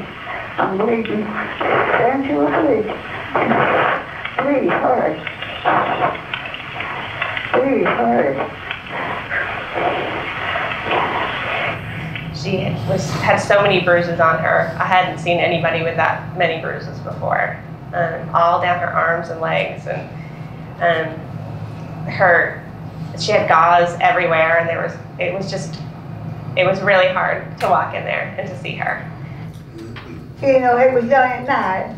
Late on a Sunday afternoon, about six o'clock. And it went on till two o'clock in the morning, on Monday morning, two o'clock Monday morning. It went on that long. And he was so drunk. And um, that's when he said, I'm going, I'm going to rub you down. He said, I'm going to rub you down tonight. And he just went to scrubbing on me, all over me. And I remember that way. I said, don't, don't, Bill, quit. And he got worse and worse. He jerked me up. And he, um, I, I tried to say something to put him off, you know. And so I said, there's somebody at the door, Bill. And he jerked me up out of my chair. And he carried me to the door too. Of course, there wasn't nobody at the door. And he grabbed me up, went and threw me in on his bed and raped me. Let me back out and come throw me back in the house. He kept on dragging me around and there. I said, Bill, I gotta go to the bathroom. He, he wouldn't turn me loose. He wouldn't. He had kept me. I said, I gotta go to the bathroom. So he um, opened the bathroom door and I went in the bathroom. He followed me in there, had a hold of me. And uh, I sat down. I, and he, I had to say this, but it, it's the truth. That's what y'all want, it's the truth. Yeah. He rubbed his finger all in my face. His fingers, he rubbed it all in my face. And um, I told him, I said, I said, I won't go back in that room. He shoved me back in, my, in the room and I sat down. He shoved me down. He had to hold my hands. And he shoved me, from there, he shoved me out the, the back door, opened the back glass door. And I cut my hand, must have cut my hand on the door when they drove me through there. From here here, 18 stitches. And two, was two in my ankle. And he me out and I told him, he said, I, I'm going to the little house, I got some beer out there. I, yeah, he said, I got two more beer. I said, well, you go get, go get the beer and I'll have you drink it. You know, I was just telling him that, you know, him turn me loose. He said, no, I'm gonna carry you with me. So he drove me out the back porch, down the doorsteps, barefooted, just had my night clothes on, down to the little house, and back me. He said, I'm gonna kill you anyhow. He said, I'm gonna kill you before daylight. Now, he, he told me that, dragging and dragging and dragging. I'm gonna kill you before daylight, nobody won't know who done it. And I cut my knee off there on something out in the yard. It had grass and gravel all in it. And I uh, got back in the house. He slammed me down. And he taken my fingers and put them by my nose and twisted it around. And my face was black and blue. My hands was all cut up. And um, he said, well, it's time to go to bed. I said, well, you go in there and go to bed, Bill. And uh, he said, no. He jumped me in my room, and he got in my bed. And um, he didn't have no clothes on. He told me to get up there in the bed with him. I said, I'm not getting up there. And he, um, he lay down, flat his back and my dad, He was, my bed was about like this. And um, so I was trying to find a way to get away from him. So he lay down, and I felt him when he yelled. And I dug my hand out from under him, for he had hold of it. And I went in there and I called 911. I said, there's a maniac in the house, and I said, he's just about killed me. I said, I'm bleeding to death. And uh, so they come out there and found him in my bed. And they got him up, put handcuffs on him, put him in the car.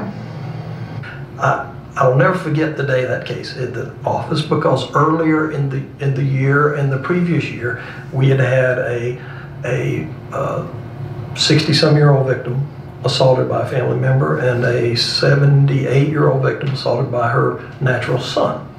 And in this business, when you work in, in these kind of specialty crimes of, of domestic violence and, and sexual abuse, every day you think, uh, you know, that tops it. You'll never hear anything worse. And then this file comes in with Lisa of a 96 year old victim assaulted by her 38 or 37 year old grandson.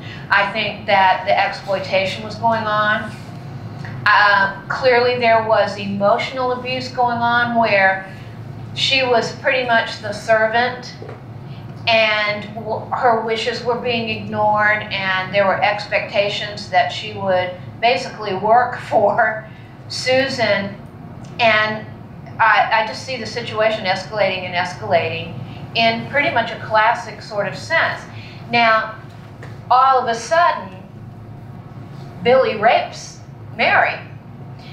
And it seems like something that came out of the blue.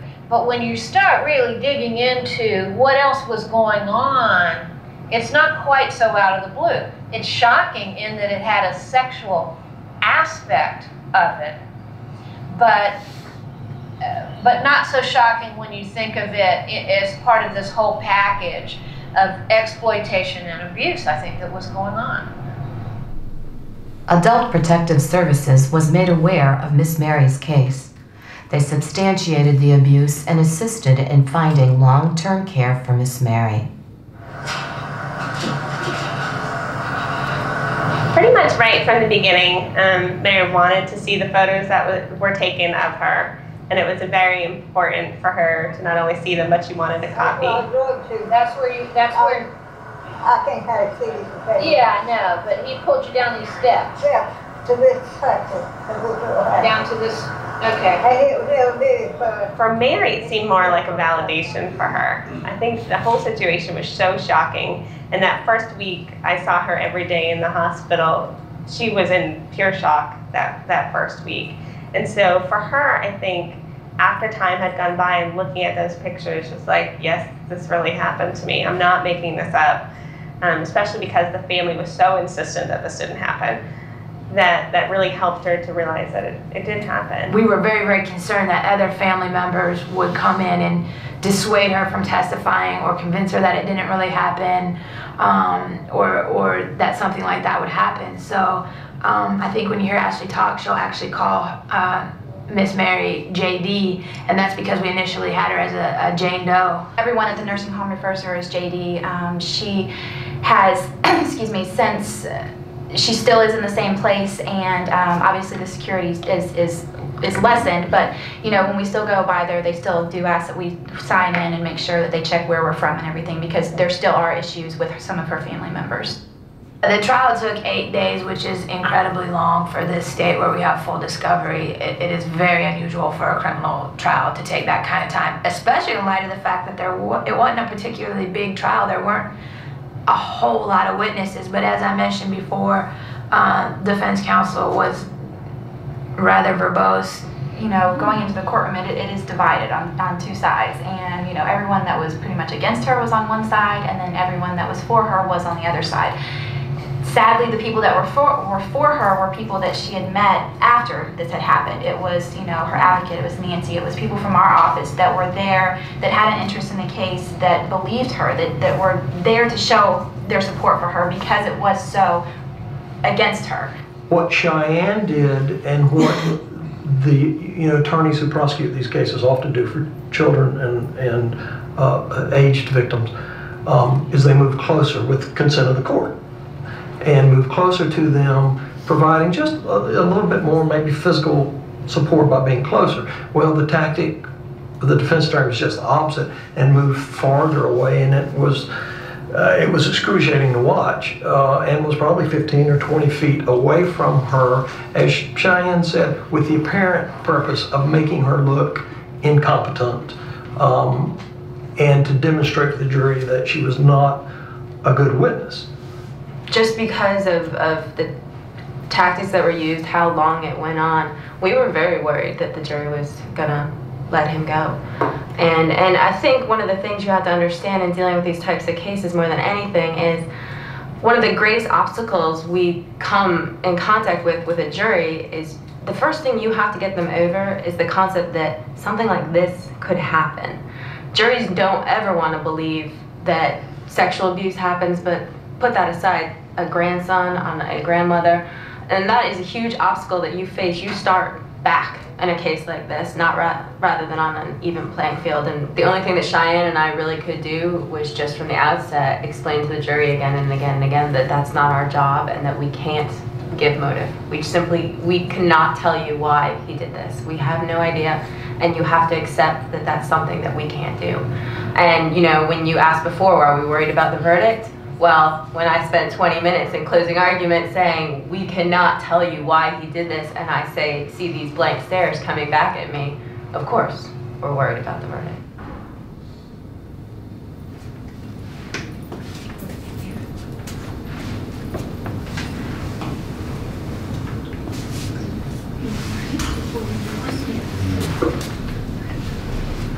Uh, Miss Mary stayed in her nursing home until she passed away about three years later. Um, and the um, granddaughter-in-law, the wife of Billy, um, unfortunately was never caught. So she kind of fled, um, and then she escaped prosecution of any sort. Um, so That was in Nevada? the other ones? This one, oh. Just What? debrief questions really fast. What was that? Was that in Nevada? I don't know what state this was in. No, yeah. Well, it's an adult protective services, so isn't Probably that Cal- helpful? Right, so California, it right? might not have been. What it. What Or number? somewhere. Last one? Um, one of the last ones go up a little bit. Keep going down. It's like one of the last ten slides. So, um, what do you guys, what are your guys' general thoughts on this? Any Was- initial reactions? Yeah. Was there a history of like physical and sexual abuse beyond that, or just them taking advantage of her financially and like making her like you know cook, cook for them and things like that, like take care of them? Because why were they after the wife? Is my question. Was she involved in like just because of negligence, or was she somehow involved? stealing in, Yeah, she was involved in the financial. So about the money, right? Because he was, they prosecuted him on heavy criminal charges, both like what it was aggravated assault and what was the other one? So they didn't go after him for, so they didn't, you know what I mean? Like they were just gonna tack tack her in on those two charges, or. I'm not sure. Yeah, that I'm not sure of, but that's a, that's a good question. Yeah. I really admired her strength and her voice. yeah, she was a boss. like the story sucks it's mm-hmm. horrible but she really wanted it spoken and she wanted the photos seen and i was like that's really cool that she was able to do that so it, i'm guessing that the support she's received since then made it feel okay to speak out so right i was i was impressed with how she was able to speak about it and, and almost a matter of fact, you know, So she was able to be really coherent. Yeah. So when Especially for her age. Yeah, Yeah. yeah, yeah, she was on. Yeah. So like, she's not this feeble, incompetent lady who can't speak for herself Right. at all. she's rare though. There's, I bet most women her age probably are not that on point, you know.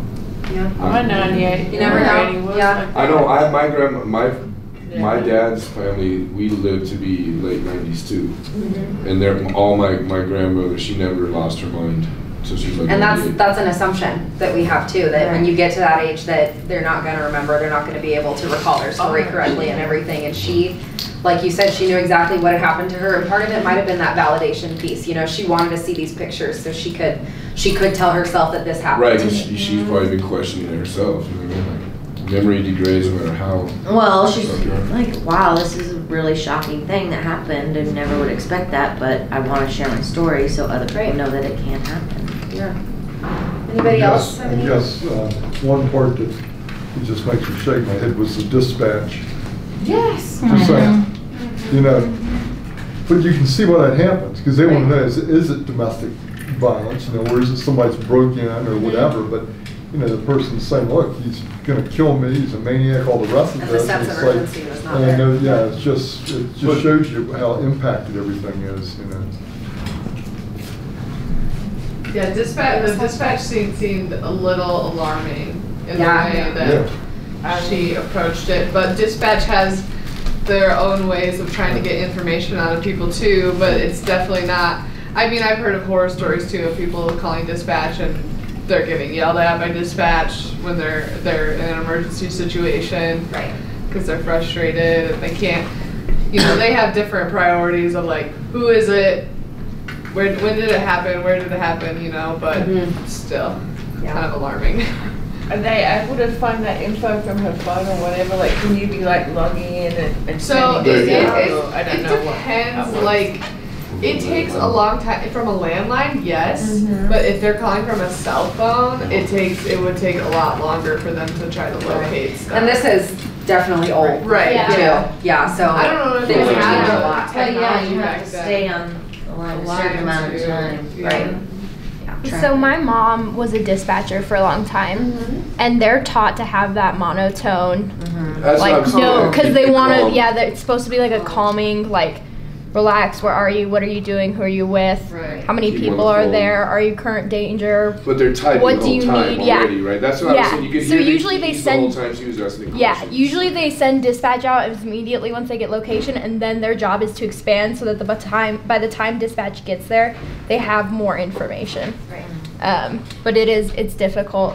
It's I mean because I would have thought that they, what does it matter who he is? But I guess sometimes if it is a family member, they're gonna respond differently or take different people. So. What, where, where are you at was the question that I was kind of like, what, like the same thing. I thought that there'd be an ID up on her screen already Yeah. when you call from the landline. Yeah, that could have been, I don't know, where they are in the house. Yeah, you have to wonder too, yeah. like what where the dispatch technology is back then, where as opposed to where it is now. I don't know how. Yeah, shouldn't you ask Well, specific questions, like, you know, just instead of vague questions? Like you said, where are you at? Like, are you at home or are you outside? Are you in a room? Are you in a? Right. Are you, are you, are you locked up safe somewhere? Right.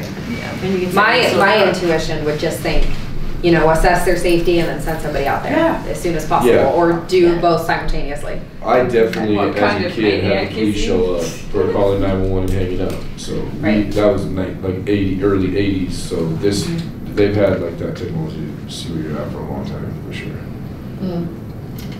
Okay, so in the interest of time, I'm gonna move on. Um, but this is great discussion, guys. Um, thank you for participating and um, sticking through that. I know that's a really hard video to watch, but um, the reason we like showing it so much is because it shows a couple of different tactics that an abuser can have with an older adult, and it also kind of shows the intersections of um, the different systems. So we have our social services, and then we have the, um, you know, district attorney and law enforcement and everything. So we kind of see how they work together. Um, so I'm going to speed through these last slides just because they're all national resources and you guys have them in your packet. Um, and then um, we'll go over questions that you have at the very, very end. So now we're going to switch over to our traumatic brain injury presentation. So I'm going to hand out another hefty packet to you guys. But don't be alarmed, most of the packet is just handouts, not the actual presentation. The actual presentation is much shorter. To go over some of the handouts that you have in here, um, we'll discuss these a little bit more throughout the presentation. So um, the first one for, um, we'll go over traumatic brain injury and what that means as a disability. Um, but the first handout that you have is the functions of the brain. So when your brain is functioning normally, um, the kinds of things that it does in the different parts of the brain. Um, and then we have um, a quick fact sheet on victimization of people with disabilities or with traumatic brain injury. Um, there are living with a brain injury, so from the survivor's um, point of view, what it's like to have a traumatic brain injury and the kinds of things that they experience on a daily basis. Um, and then the last couple things that are in here are um, tip sheets. So um, tip sheets for the survivor and managing a TBI, and then also um, on the service provider, so accommodations that you can provide and kinds of things that you might expect to see when working with somebody with a TBI. Is it okay if I refer to this as TBI from now on? Okay. Traumatic brain injury, know, you say it so many times that it just sometimes. Um, so again, just like um, all the old presentations, grant acknowledgements prepared by Judy. Just in case you forgot my name, my name is Sarah. Um, these are some of the object objectives. You can read through them in your packet, the things that we will talk about and that you um, are anticipated to know by the end of this presentation. So understanding the brain, the brain and trauma. Um, so what's the number, number one purpose of our brain? To keep you alive. Your brain runs every system in your body. That's its number one job is just to keep you alive, to keep everything working properly. So we know that when there is some sort of traumatic injury um, or some sort of life-threatening experience, it kind of sends your brain into overload. Um, and then that's when you get your fight or flight response. Um, and sometimes your fight or flight response, you know, you're not really, it kind of shuts down all of those other systems, some of your organ systems. You're not really thinking properly because your body is only focused on keeping you alive. Um, and so if fight or flee, um, so that flight is not an option, then the next is to freeze, fold, or faint. And sometimes these kinds of things, um, if it's not fight or flight or anything, other things can be detrimental to the person depending on their level of brain capacity. Um, so trauma survivors, so those with TBI, um, as a result of their trauma, they might kind of see themselves as lesser. Um, so they might see themselves as dumb, stupid, cowardly, um, and this can be in um, conjunction with their abuser telling them these things on a daily basis that they're dumb, unworthy, stupid, cowardly, etc. 88% um, of childhood victims and 75% of adult victims of sexual assault report, report moderate to high levels of paralysis for various reasons, whether that be from physical abuse, whether that be from a traumatic brain injury, they fell, they hit their head on something, concussion, etc.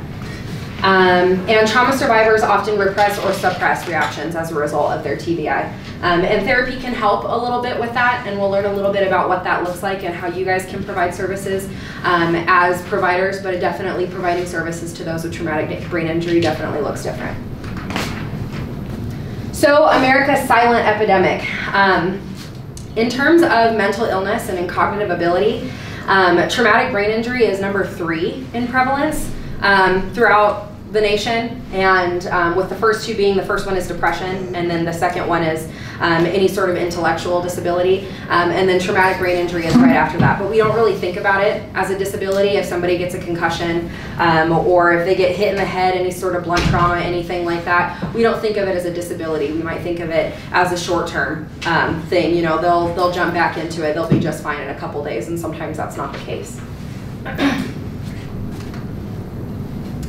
Um, greater than 90% of all injuries secondary to IPV occur to the head, neck, or face region. Um, and um, of the 53 women living in a DV shelter, on average, the women experience, this is in a specific study, on average, women experience five brain injuries in the prior year, and almost 30% um, experience 10 injuries the prior year.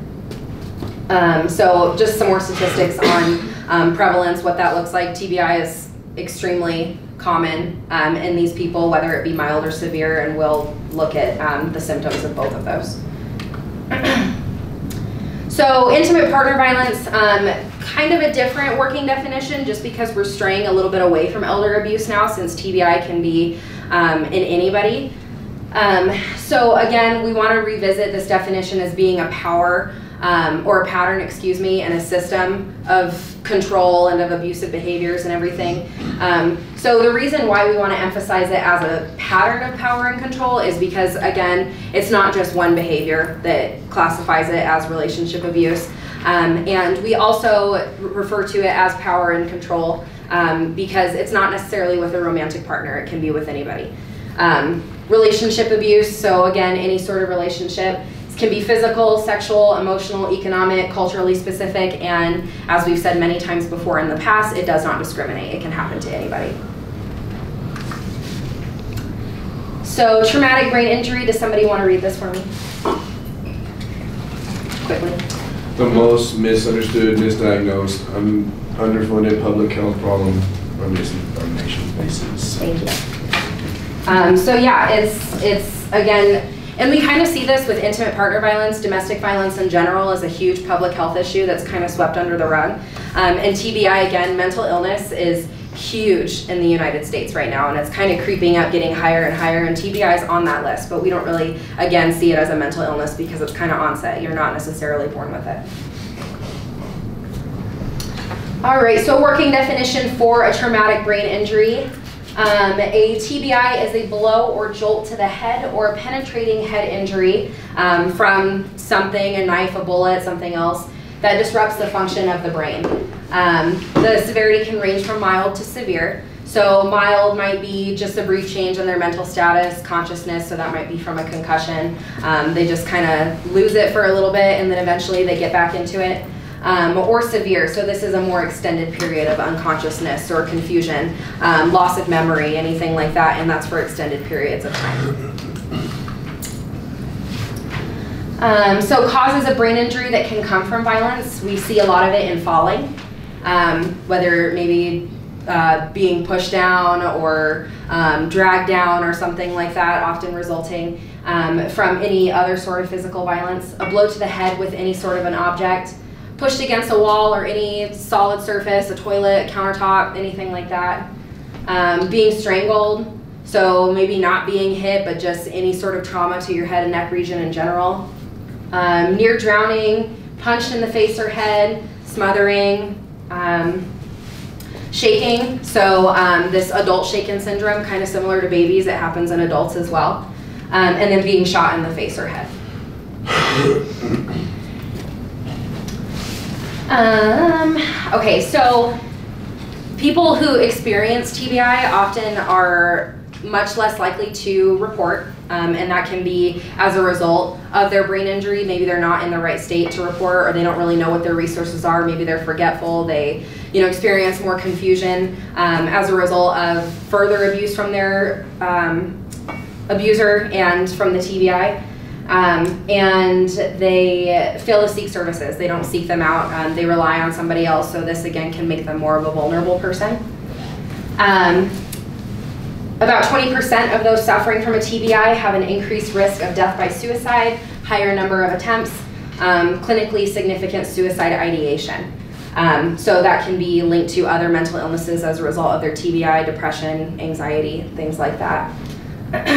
Um, and professionals often, this is a huge issue, especially when it comes to screening, because they either don't recognize the signs of a traumatic brain injury, they kind of, um, you know, brush off the confusion or the loss of memory as something different, maybe being older, maybe having another disability, um, or they don't know the referrals to make, they don't know how to help them, um, or they don't make the link between TBI and domestic violence at all. They think maybe they just fell, maybe it wasn't a result of um, a violent relationship or something like that. And as we talked about before, the societal thing, the system, a lack of knowledge often leads to a lack of intervention. If you don't know better, you can't do better.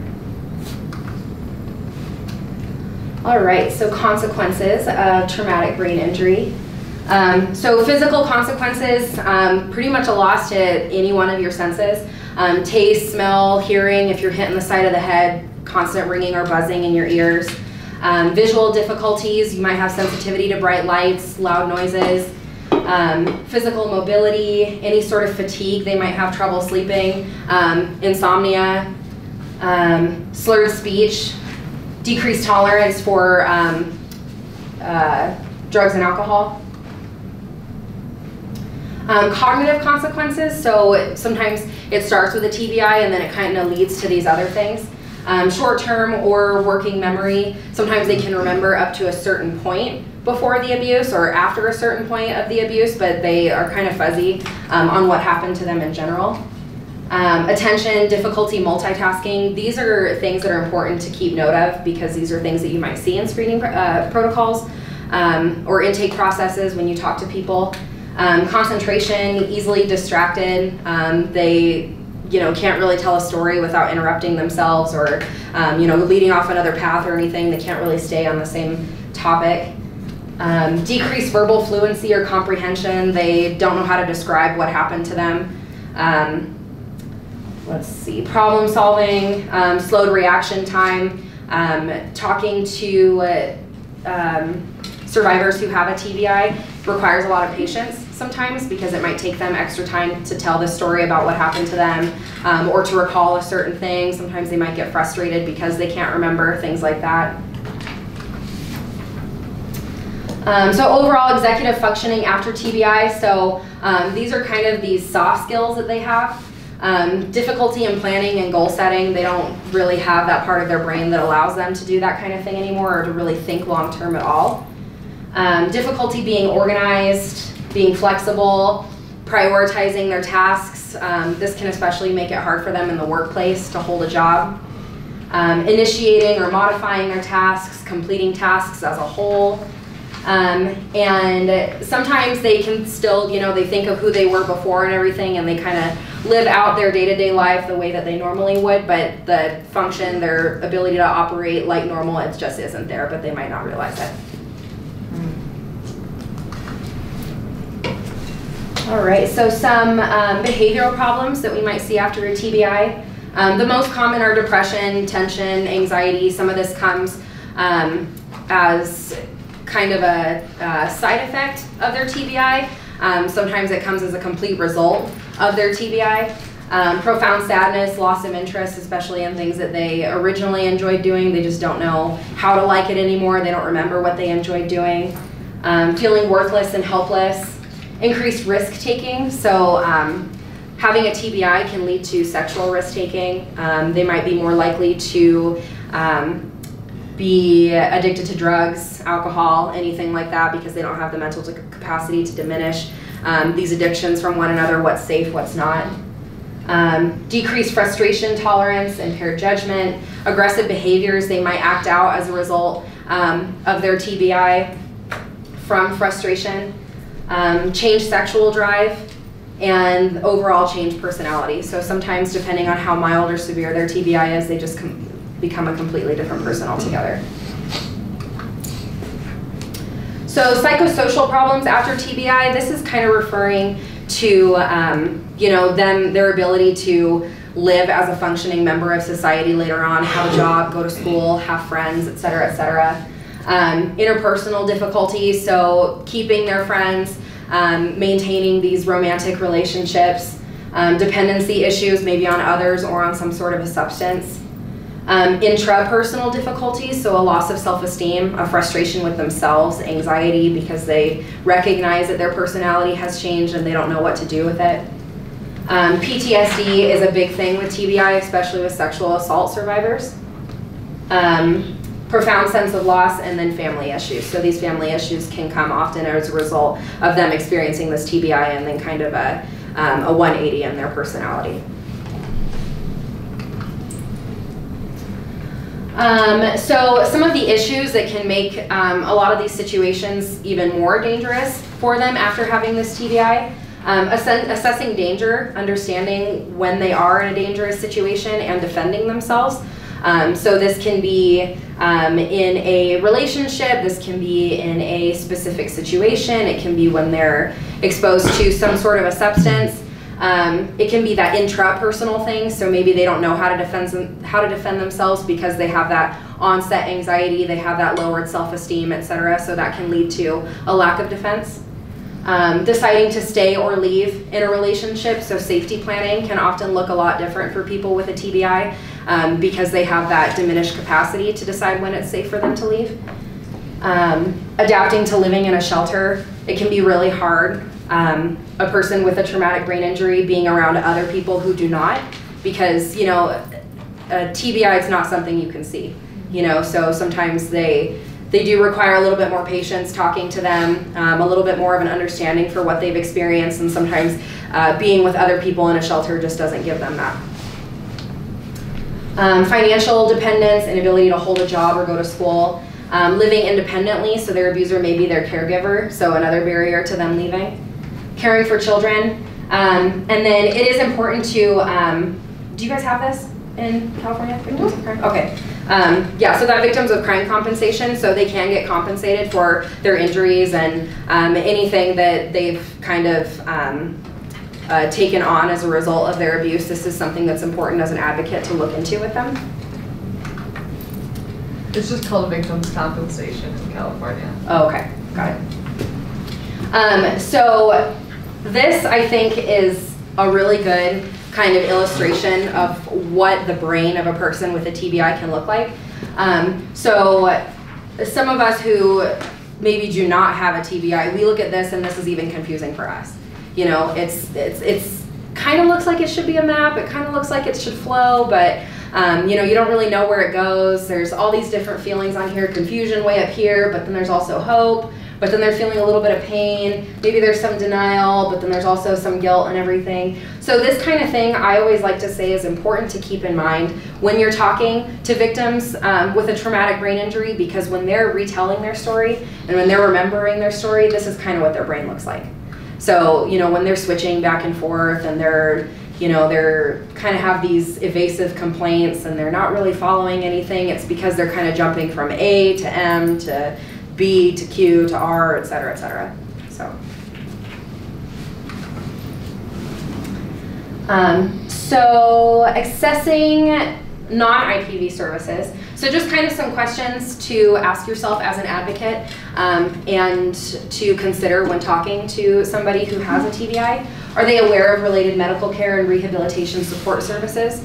Um, so as we mentioned before, this is something that they often don't know of a whole lot as a result of their TBI. Um, are their healthcare providers aware of IPV? Do they make that connection between IPV and the TBI? Um, do any of the abusers or providers, excuse me, communicate with the abuser? Do you guys provide batterer intervention services? No. You don't, okay.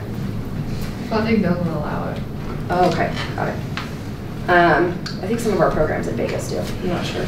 Um, do you need, do they need information in alternative formats? Um, so making that more accessible for them, the large prints, um, reading it to them, um, audio, anything like that. Um, and then consider what they rely on the abuser for, whether it's financial, whether it's to help them get ready for their day, to feed them, anything like that. Um, all of this kind of plays a big part in safety planning too, so things to consider when you're working with them. Um, does the abuser stop them from accessing services? This is big sometimes, so sometimes, um, you know, receiving medical care as a result um, or needed for their TBI, sometimes not being able to access care isn't due to their TBI at all, it's just because their um, abuser won't allow them to access these services. Um, what assistive devices do they use and then kind of accommodating your services to that. Do they need a wheelchair? Do they use a cane, hearing aids, um, a smartphone with a timer, anything like that? If you need to um, record things for them using a voice recorder, sometimes that can help jog their memory. Do they have a service animal? Can they keep them safe? Um, and is it safe to take notes or keep notepads by the phone? Um, so this is sometimes when we um, talk to survivors with a TBI.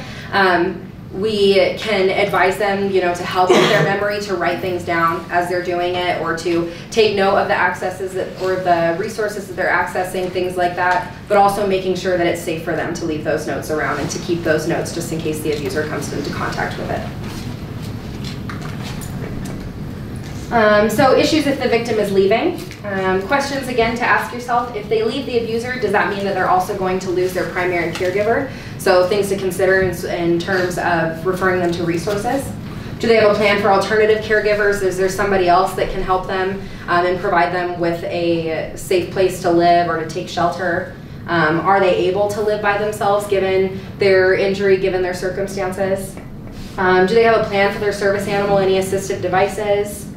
Is transportation an issue? Sometimes um, a TBI can be to the level that's so severe that you know they can't um, drive by themselves, they can't remember directions to you know get to certain places that they once did, things like that. Um, and is accessible housing an issue? Um, emergency bags. So um, you guys might have talked about this before. Sometimes in safety planning, um, we kind of recommend that um, at some point they try and like pack a bag just in case they're in a situation where they have to leave really fast. And then they have this bag that has everything in it um, their medications, clothing, list of resources, their passport, birth certificate, social security card, things like that. Um, so in terms of people with a TBI, making sure that it has any backup assistive devices, and if it doesn't, where they can go to, re um, to replace them. Uh, spare batteries for these devices, instructions for use of technical equipment, especially if their caregiver isn't there to help them. Um, medications, again, phone numbers, any important documents, food supplies, et cetera, et cetera. Um, so when facing, we know, um, you know, from things that we've talked about tonight, maybe from past experiences that you've had, um, any exposure that they have to the criminal justice system or to law enforcement in general can be really hard because the way they handle things is a lot different. That might be based on policy, it might be based on their knowledge or lack thereof.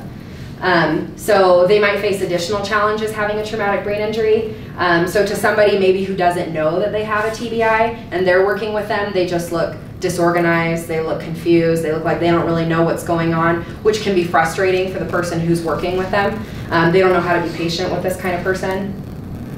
Um, they might um, label it as a different mental health dis disability. Um, so they don't have a TBI, but rather some sort of intellectual disability or cognitive impairment, something like that.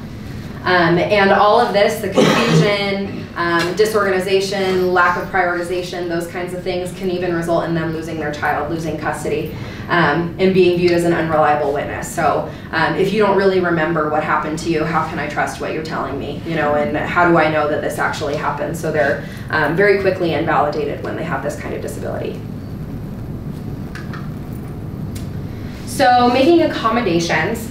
Um, so how as a advocate, as a volunteer, you can work with these people and accommodate for them when you see that they have these additional needs.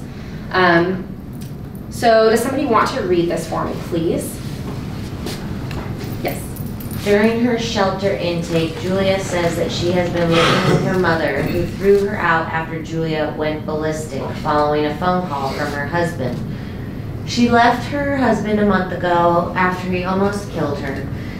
He has been following her around and harassing her wherever she goes. She needs to find an apartment and a job, but feels overwhelmed by the process of looking.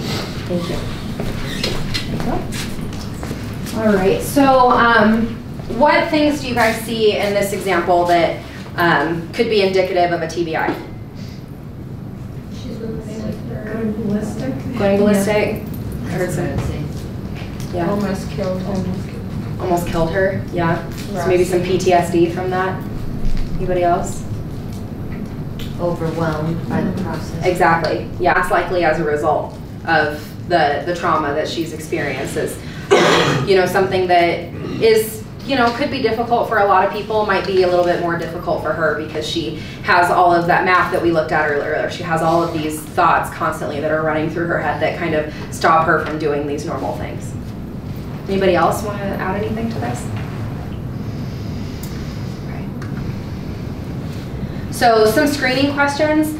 Um, these things, maybe you suspect TBI, um, you think something might have happened to cause their confusion or disorganization of thoughts, anything like that. So um, these are some things that can be included in the screening process to kind of assess that. Um, was your head or face ever hit? Was your head slammed into an object? Did you lose consciousness? Were you strangled, suffocated, shaken, anything like that? So if they say yes to any of these questions, then these are likely to raise some red flags for you to tell you that, okay, there might be a TBI here. This might be what I'm seeing with this um, client or with this patient. Um, some other things, so, you know, we know with abuse it's not always physical.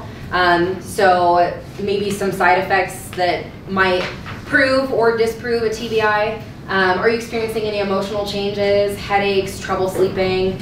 Um, did your abuser do these things more than once that might point to a more severe TBI if they have it?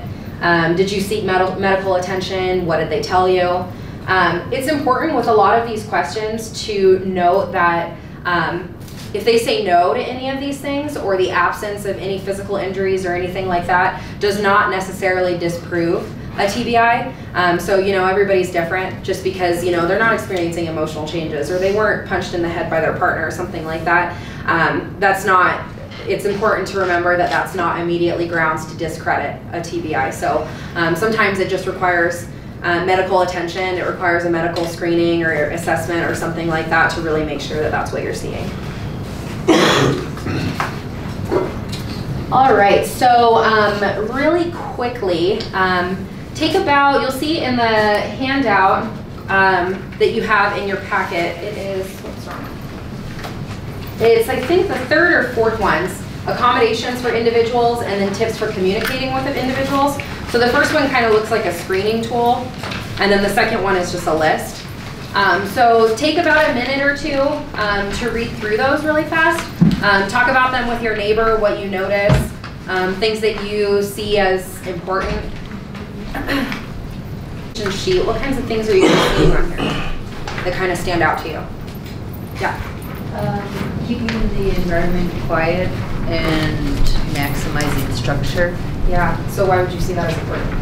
Um, well, the structure kind of helps um, people feel secure. Mm-hmm. And when their mental capacity is um, unreliable, the structure can help keep them on track and keep them feeling grounded, basically.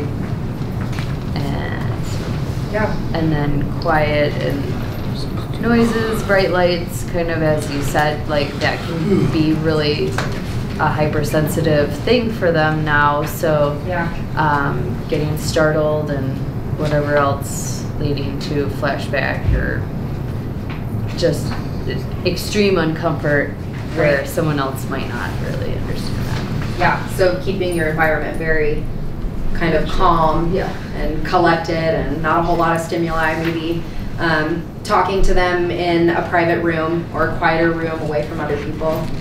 What else do we notice on this? A lot of writing things down.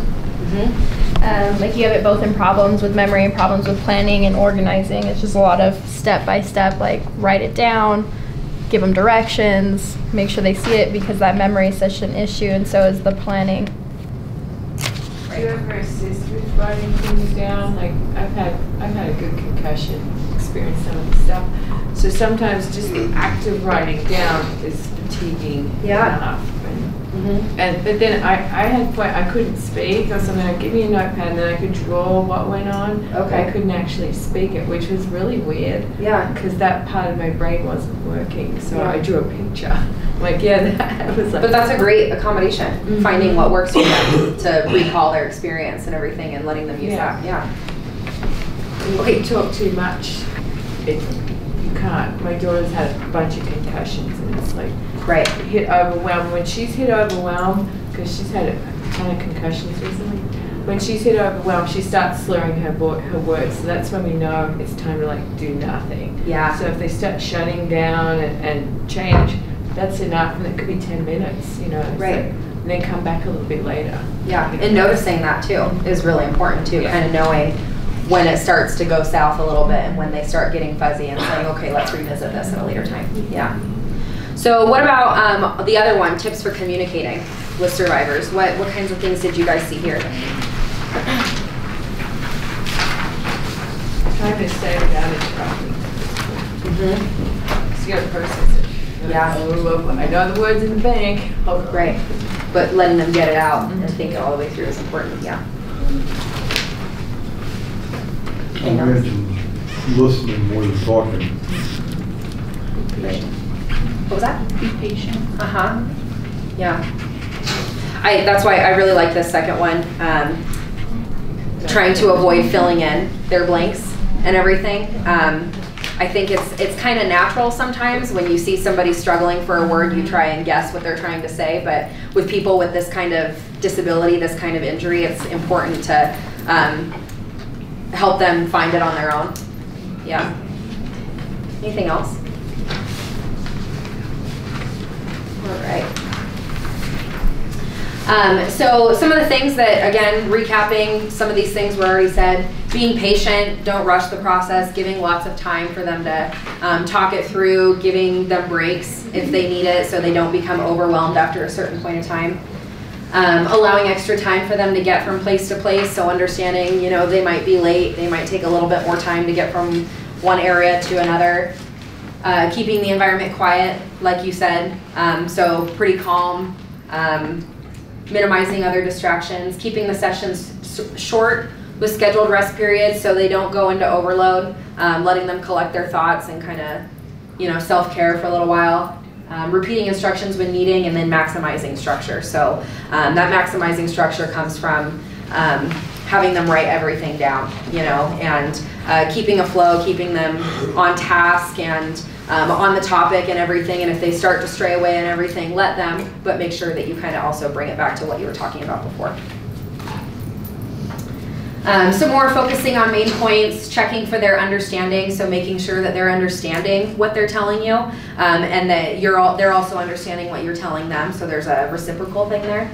Um, using interpreters when needed, so if they do need some extra accessibility, being aware of that. Uh, writing things down, making sure that they know their rights, outlining steps to accomplish their tasks, especially if they might have difficulty with those soft skills, outlining those things. Um, and then assisting with communication. So if they have trouble writing, if they have trouble reaching out to others, making phone calls, um, making yourself available for that kind of thing.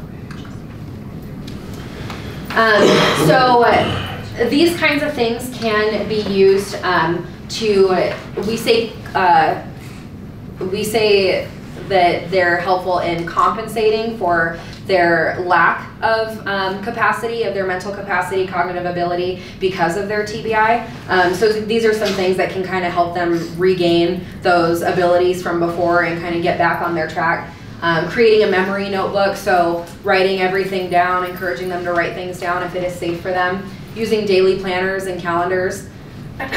um, using timers to remind them of ADLs Um, so things that they need to do at certain times throughout the day, making sure that they're aware of those, whether it be by um, you reminding them or a timer so that they can learn to remember on their own.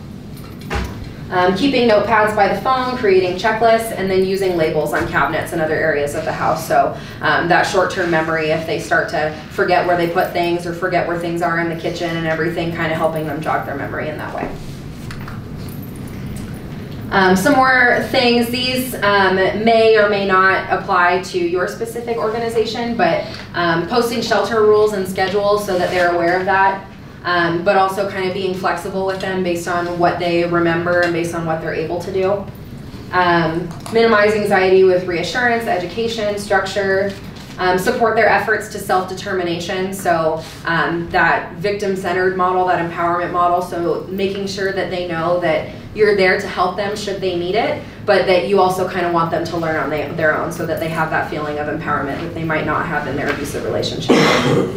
Um, providing several solutions to the problem. So this is really big with safety planning, um, giving them all of these options that they have, um, not just leaving the relationship or not just you know, going to law enforcement or something like that, but allowing them to make these decisions on their own.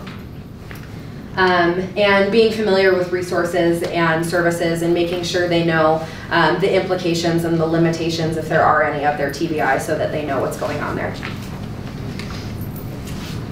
All right, so really quick handouts for survivors. So the other things that you have in here, um, right behind these tips for service providers, you have one tips for improving your memory. And this is again more for the survivor to keep in mind. And then on the other side, tips for organizing your life strategies that work.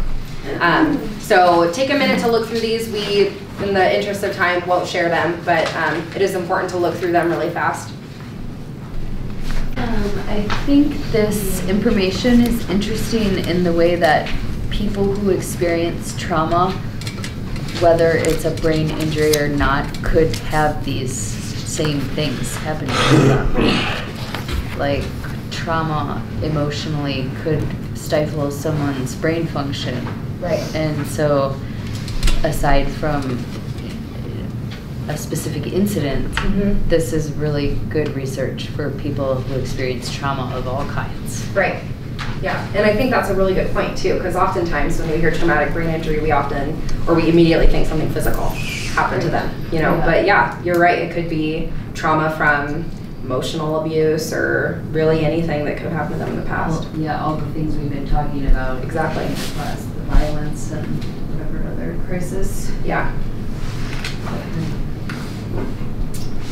Um, okay, so um, the next couple slides just kind of, again, outline um, some of our resources that are available to you guys as advocates and to survivors with TBI.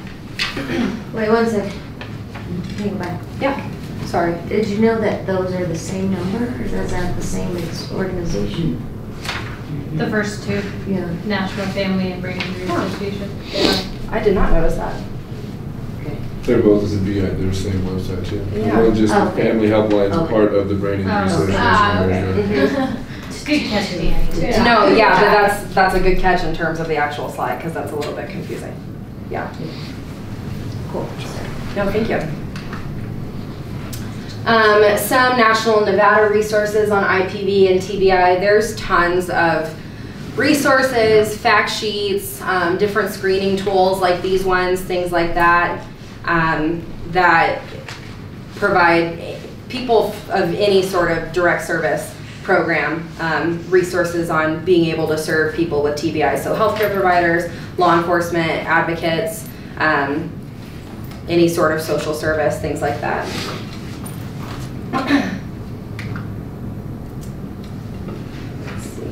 Um, resources and services might include evaluation, community-based rehab, transitional living, any sort of support groups, educational awareness, legal services, et cetera, et cetera. And then um, just some information on advocacy training, so resources, and these are included in your um, elder, abu- elder abuse, excuse me, presentation as well. Um, online modules and stuff like that that are specific for advocates. Um, and then team of professionals. So sometimes it, it kind of takes an interprofessional effort um, to be able to intervene and to help somebody who um, has a TBI. So it's not just one person, it might include neurologists, therapists, any sort of rehab professional in addition to an advocate, a social worker, anything like that. Um, you kind of need a guild of all of these people to be able to provide the proper services for that person. Um, some good reads in case anybody is really interested in TBI and wanting to look more into it. Um, so what are the next steps? Um, you guys, I'm sure, will receive plenty of training um, or might have already on the intake and screening process for your organization, what it looks like specifically for TBI. Um, so just knowing these things and knowing the specific procedures for your organization is extremely important.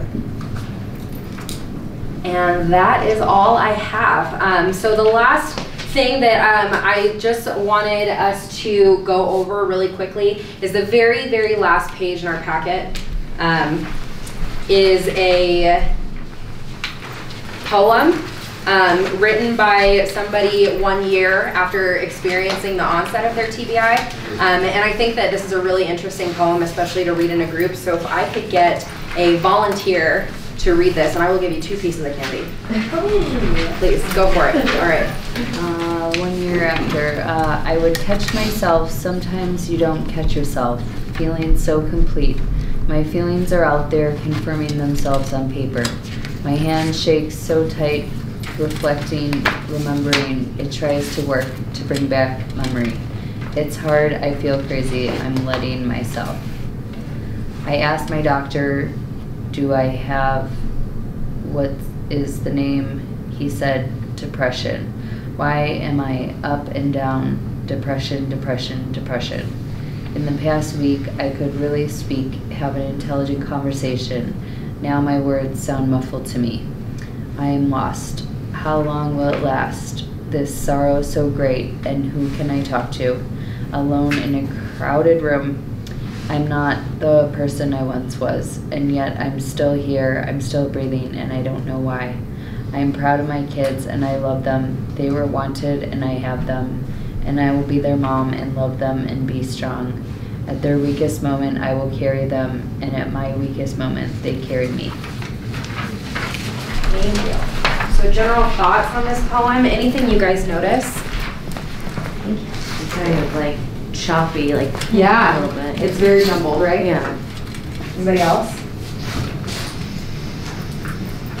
Kind of outlines the different um, processes that they've gone through, going to a healthcare provider and hearing they have depression, also working to take care of their children given their injury, things like that. Um, so I think that this is something um, that I really wanted to leave you guys with, just so you can um, kind of reflect on it throughout the rest of the evening and think about. Um, this is a pretty good indication of what a TBI looks like. Um, and though it is a poem, I think that um, the fact that it's kind of written a little bit choppy and jumps around and it's a little bit jumbled and everything, I think is a really good representation of what a TBI looks like. So thank you guys for sticking with me. Yeah. I'd like to make a comment real quick. That's, since we live in an area where everybody's active, skiing, cycling, mountain climbing, whatever, just be aware if you get, if you're knocked unconscious, whether it's from a bike accident, ski accident, or whatever, and you go to the ER, um, it's a good idea to get a MRI instead of a CT. CT scans are effective 96% of the time. Four percent of the, four percent of the time, they miss the diagnosis, and if you have a minor bleed, it can become a major problem down the road. And usually they, they, because it's ninety-six percent effective, they guide you in that direction because of insurance and everything else. But just be aware of that. And a lot of people end up exiting a few weeks later because they missed the diagnosis, not uncommon. You can get Drano Grodet because hospital is ridiculously expensive. Is it? I believe it. It's also Yeah. very tiny, so limited resources. Mm-hmm. Right. So MRI is the way to go. Mm-hmm. You could. Yep. That's good to know. Yeah, thank you, Joe. You're just You usually have to Full of push good the stuff. doctor for it too. What's that? You usually have to push the doctor. Yeah. Because they, they usually, I've had them before. It's rare that they'll Yeah, Case managers always push back against them Yeah. because that's not the protocol. It's like if the CT scan's negative, you're cool. And most of the time you are. But unless you're part of the three or four percent, then it's decidedly not cool. Uh-huh. And, and particularly one of the most common ones is what's called the contractus subdural hematoma. So you're injured on the, you appear to be injured on the left side because you've got something going on, but actually the brain whips inside the skull and the major damage is on the opposite side. So contractus is French for the other side. Real common, uh, what's his face, Liam, Liam Neeson's wife, that's what she died from in her ski accident. And often they, they feel fine after the injury. It's like, I'm cool, I'm a little bit tired and everything's good. And So I, I don't know why more and more in the ER, they don't just go the more aggressive route with it, but they, but they still don't, so. Wear your helmets, people. Yes, there you go. Uh-huh. There was a death, this, there was a death, yeah, this weekend. Was there from not wearing a helmet? Accident. Oh, just an accident. Up on the mountain. Any other questions, comments, general you. outbursts? Thank you, very good, very comprehensive. Thank you guys for Thank sticking you. with me. I know it's late and we kind of sped through this last one, but I would really hate to keep you guys later than you have to be here. And good news, I'm gonna give everybody chocolate. You are a really good speaker. Oh, thank you. I Yeah, really- especially- That's why I'm glad that you Yeah. Yeah. Thank you so much. Right? And let's get those evaluation forms back over. Can I interest